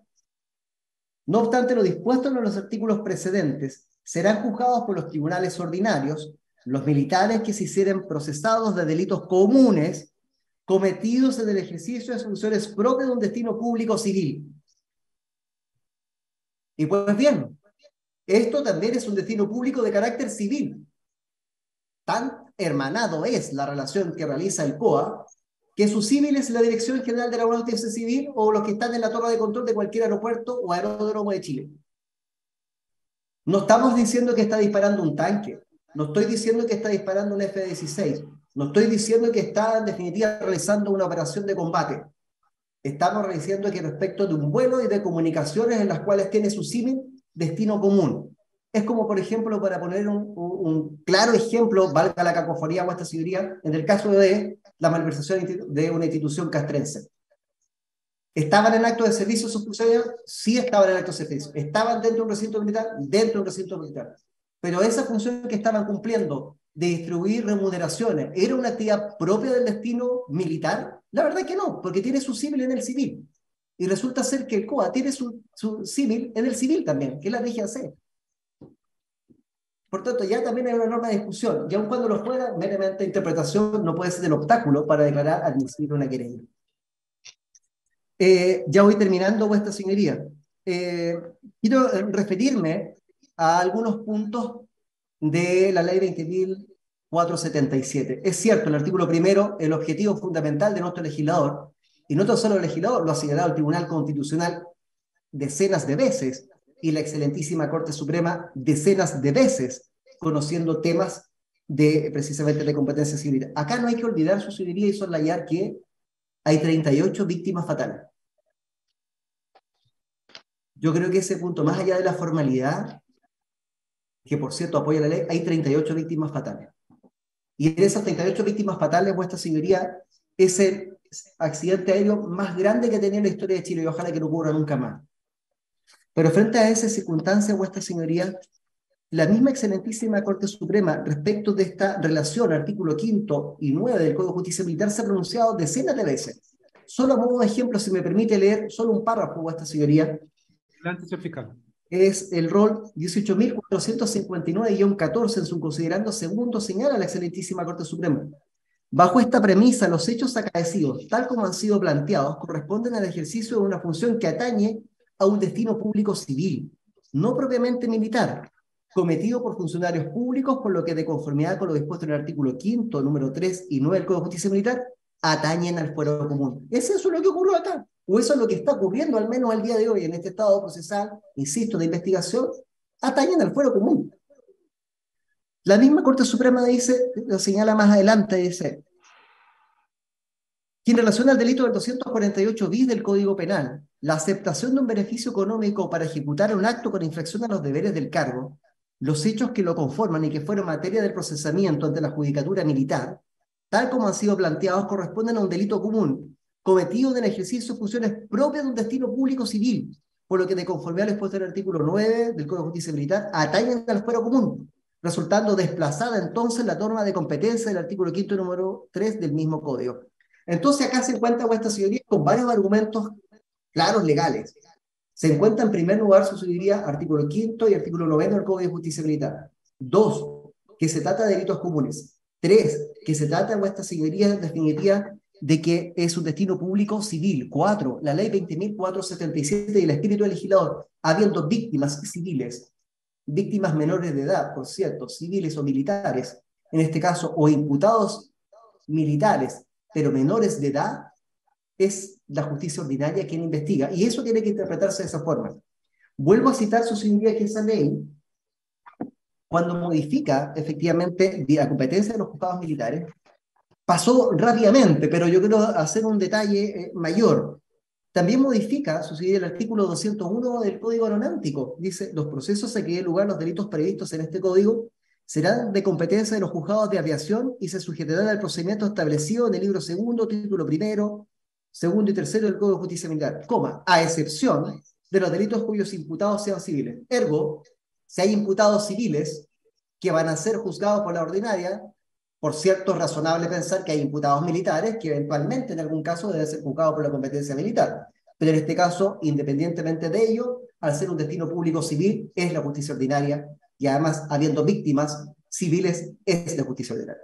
Y respecto a este argumento caigo de Maduro, en definitiva que el propio artículo 198 sucedería, siendo un delito de peligro, por cierto, eso no es discutible, pero tampoco podemos soslayar el 199, porque el 199 del Código Aeronáutico agrava la pena del 198, es decir, dice ahí, si a causa de las conductas delictivas descritas en el artículo 190, 198, se causaren daños a quienes? A la aeronave, que, que sí se produjo, pero no estamos en definitiva cuando se refiere a la legitimidad, por ejemplo, que se discute, cosas transportadas u otros bienes, la pena privativa de libertad se aumentará en un grado.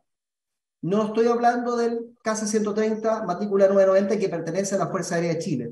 No me estoy refiriendo en estos momentos, sucedería a las más de 30 personas que pertenecen a la Fuerza Aérea de Chile y que incluso pertenecen al Ejército de Chile, al menos tres de ellos. Me estoy solamente circunscribiendo a los jóvenes de la empresa del Procer y me estoy refiriendo al estudiante de la Universidad de Magallanes. Ellos llevaban equipaje y llevaban efectos personales, mayor o menor, pongan la cuantía que estime, pero son bienes. Y sabemos que efectivamente esos bienes, si no fueron recuperados, no están en las mejores condiciones o no se recuperó ninguno y por tanto ahí hay un daño. Un daño a las cosas transportadas, un daño a otros bienes que los convierte directamente, querámoslo o no, en víctimas. Y eso nuestra ciudadanía lo debe también relacionar con el artículo sexto ahora de nuestro Código Procesal Penal. Y en el artículo sexto, insisto, no quiero hacer una invocación a una discusión de cómo oponerme a un sobrecimiento definitivo. Me siento incómodo en esta circunstancia cuando en definitiva tan solo una inadmisibilidad.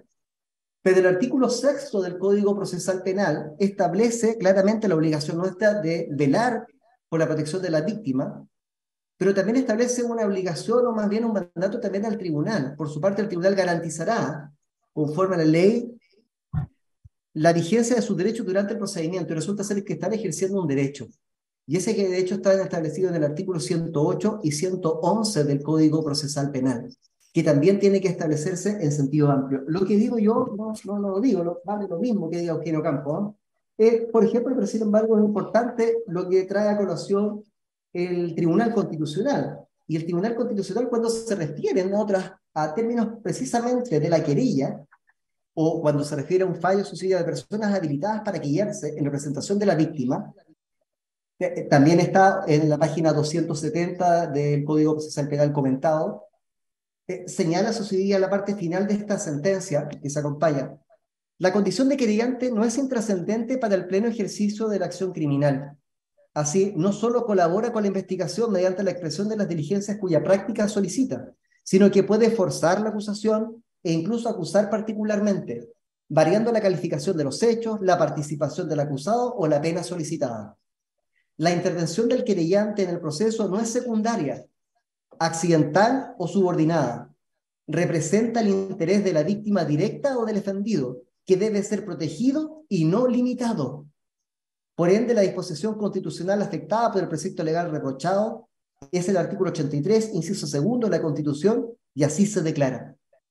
Pues bien, el Tribunal Máximo Constitucional de la República da cuenta que debe interpretarse también en beneficio también de las víctimas. No estoy diciendo, insisto, que acá estamos frente a claramente a una participación punible, es materia propiamente de la investigación, vuestras señorías.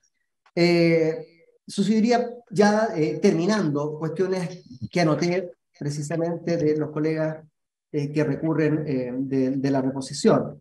En el caso del colega Armada, abandona su escrito lee íntegramente, casi íntegramente el texto y a confesión de parte realidad de prueba, ¿no?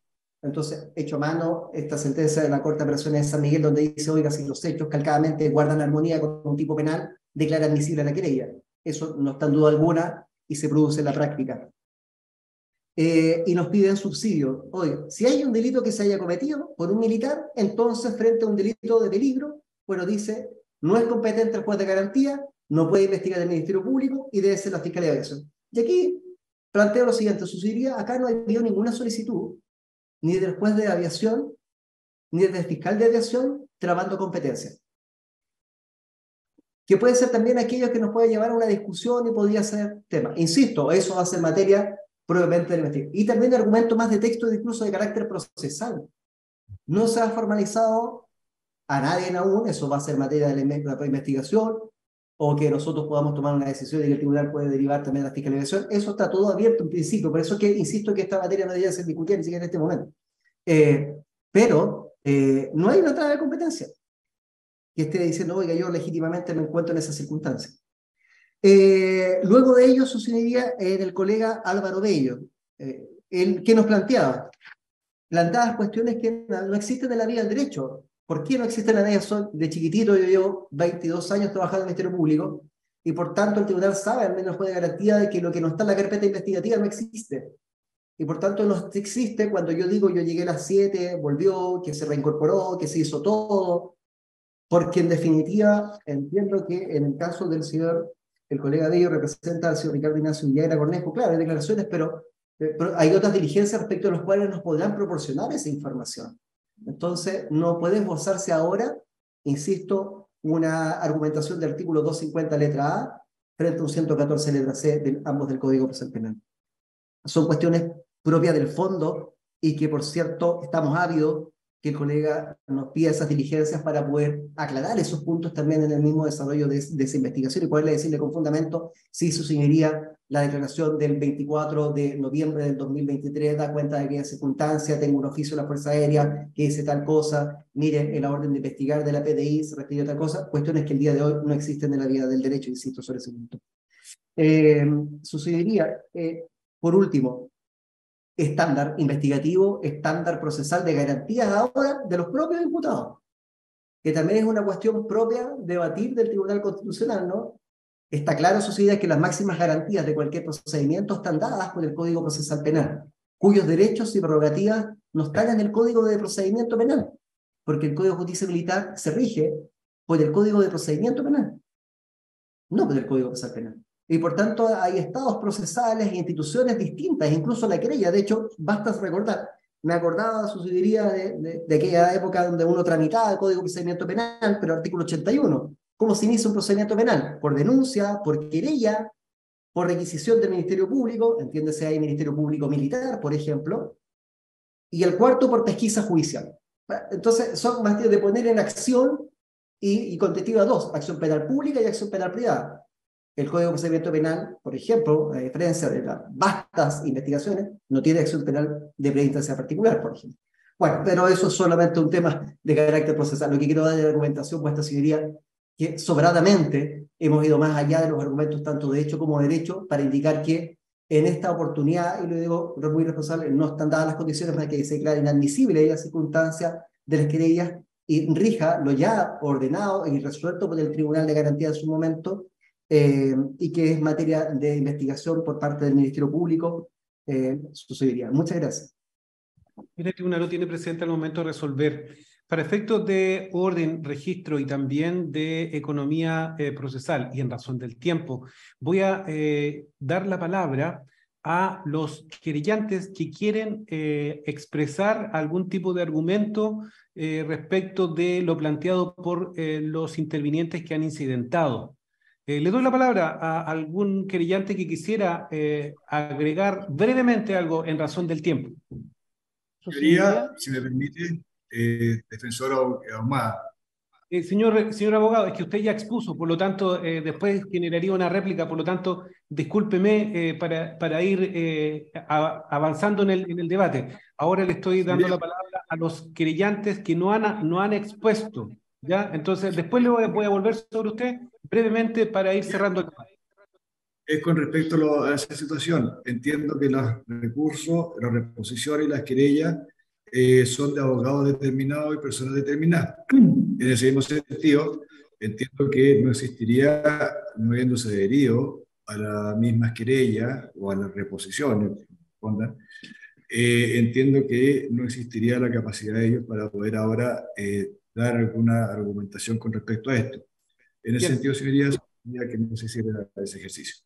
Perfecto, entonces así, así las cosas, el debate se entiende cerrado, pues ya eh, se ha argumentado tanto eh, abogados eh, que han presentado la reposición y también petición subsidiaria. Se le dio la palabra a los querellantes aludidos, a también se le dio la palabra al fiscal regional del Ministerio Público.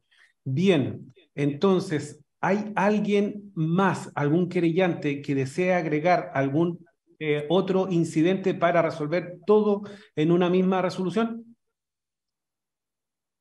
Su señoría.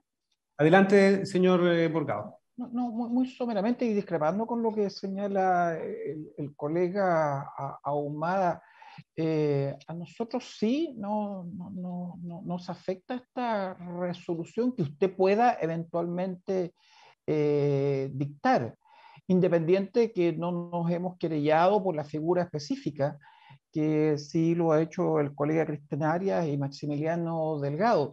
Pero más allá de eso, señoría, eh, yo lo hago sobre todo porque eh, cuando el señor fiscal hace referencia a las víctimas civiles, tres, yo represento a Ignacio Alfredo Parada Galvez, estudiante de la Universidad de Magallanes, claramente civil.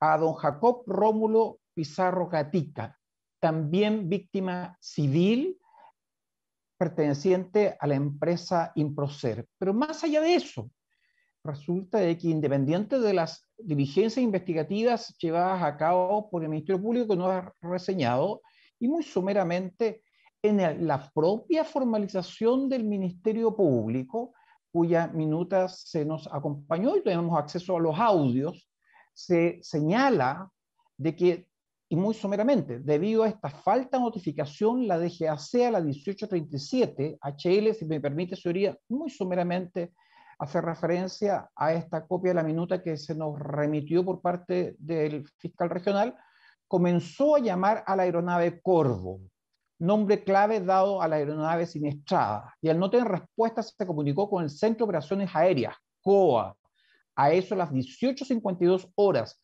consultando si habían tenido noticias de la aeronave, procediendo el supervisor COA, Emanuel Carrasco Millaquén, a entregar información inexacta y falsa a la DGAC al responder que lo veía bien por el sistema y que se encontraba bastante cerca de March, no siendo esto efectivo, ya que el último posicionamiento de la aeronave en el sistema 6 fue a las 18.13 horas, entregando, me voy a saltar una información, punto, punto, punto, lo anterior, efecto, culminó con la dilación y o retraso de que se decretaran las alertas correspondientes y las tareas de rescate.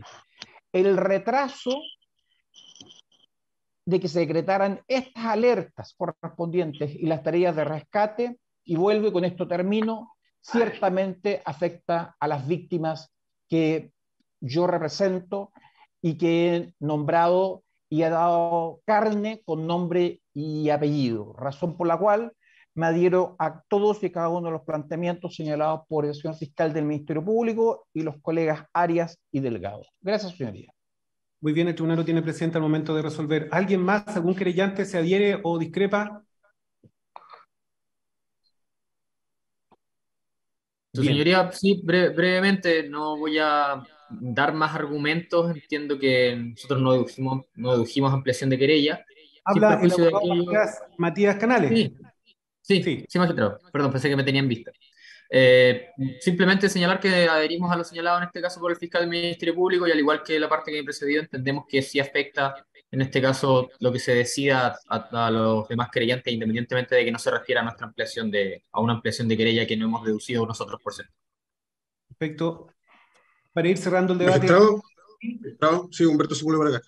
Eh, también por esta parte, eh, nos adherimos completamente a los señalados y argumentos evacuados por, por el fiscal regional, don Eugenio, Eugenio eh, Campos.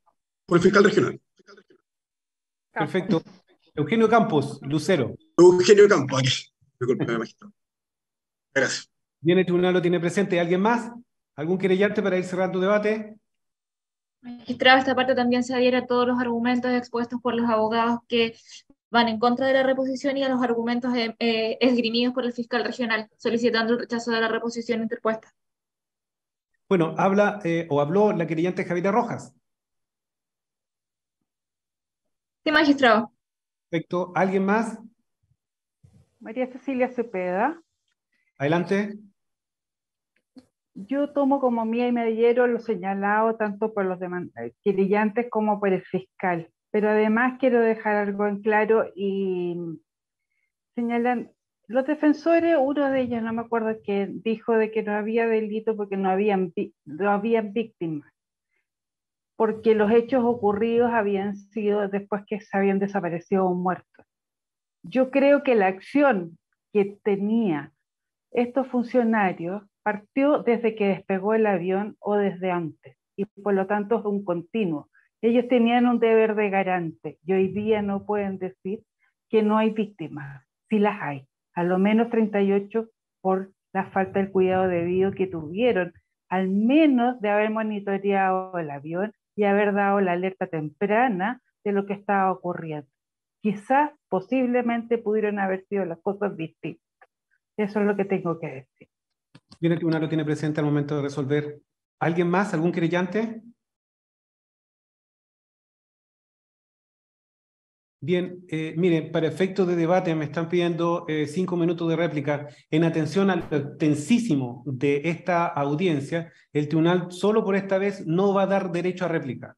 Va a eh, cerrar el debate en atención a que todos y cada uno de los interesados e involucrados, intervinientes, han expuesto de manera lata, de manera muy pormenorizada en su oportunidad.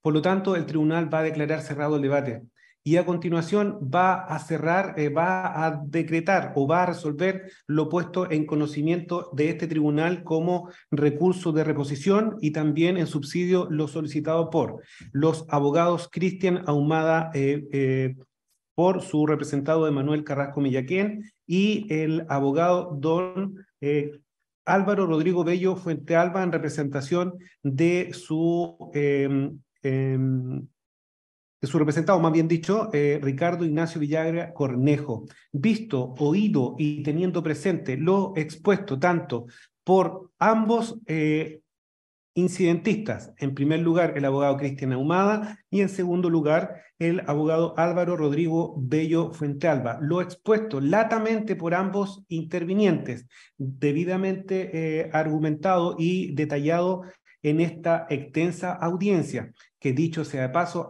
se ha extendido por mucho más allá de lo que se extendió la propia formalización de cargos, teniendo en consideración lo expuesto también por eh, los, eh, eh, los abogados aludidos, en este caso el abogado Cristian Arias Vicencio y a su vez el abogado Maximiliano Delgado González, teniendo en consideración que ellos han, eh, em, se han hecho cargo de todos y cada uno de los argumentos planteados en la reposición de ambos incidentistas, teniendo en cuenta lo expuesto también por el eh, fiscal regional de Magallanes y Antártida Chilena, el eh, fiscal regional don Eugenio Campos Lucero, teniendo en consideración que se han adherido la mayoría de los querellantes que han sido aludidos, ya sea por, porque sus representados eh, han sido aludidos directamente con las alocuciones eh, como víctimas, o bien han compartido eh, lo expuesto por los abogados querellantes que han ampliado la querella y también por el fiscal regional Eugenio Campos Lucero. Lo argumentado y teniendo presente los artículos 108 en relación con los artículos 3, 29, 201, 108 digo del Código Orgánico de Tribunales, 111 y siguiente del Código Procesal Penal y muy particularmente el artículo 360 del Código Procesal Penal que eh, da un marco regulatorio respecto de lo que se debe eh, tener en consideración al momento de resolver, considerando además que se ha extendido lo, los argumentos a una situación mucho más allá de una mera eh, declaración formal de admisibilidad, sino que más bien se ha extendido a un pronunciamiento de fondo por eh, perseguido o querido por los incidentistas, cuestión que va eh, más allá de lo que exige la norma del 114, donde evidentemente eh, se está exigiendo una una situación mucho más allá que raya en la, la actividad jurisdiccional en cuanto a la, al sobreseimiento definitivo, considerando además que el mero examen formal de la admisibilidad que debe practicar el tribunal ha, se ha cumplido estrictamente con lo señalado en la norma, considerando también que las eh, ampliaciones de la querella cumplen con los requisitos establecidos en el Código Procesal Penal a criterio de este tribunal eh, y teniendo presente lo señalado de manera muy extensa por los intervinientes, el tribunal resuelve, en primer lugar, eh, respecto de los recursos de reposición, no al lugar a los recursos de reposición eh, em, interpuestos por los abogados Cristian Ahumada Buraccio y el abogado don Álvaro Rodrigo Bella, Bello Fuente Alba. Además, teniendo presente lo solicitado como petición subsidiaria, considerando que ha sido resuelta el, recurso de reposición, este se lo resuelto en lo principal. Teniendo en consideración que han sido completamente vencidos los incidentistas y considerando el mandato expreso del Código Procesal Penal en el artículo 45, el tribunal se debe pronunciar sobre las costas de este incidente, señalando lo siguiente, eh, los eh, incidentistas al ser eh, condenados, al ser vencidos, el tribunal los condena en costas de manera expresa de este incidente. Los intervinientes se encuentran notificados expresamente de lo resuelto por el tribunal. ¿Hay algo más?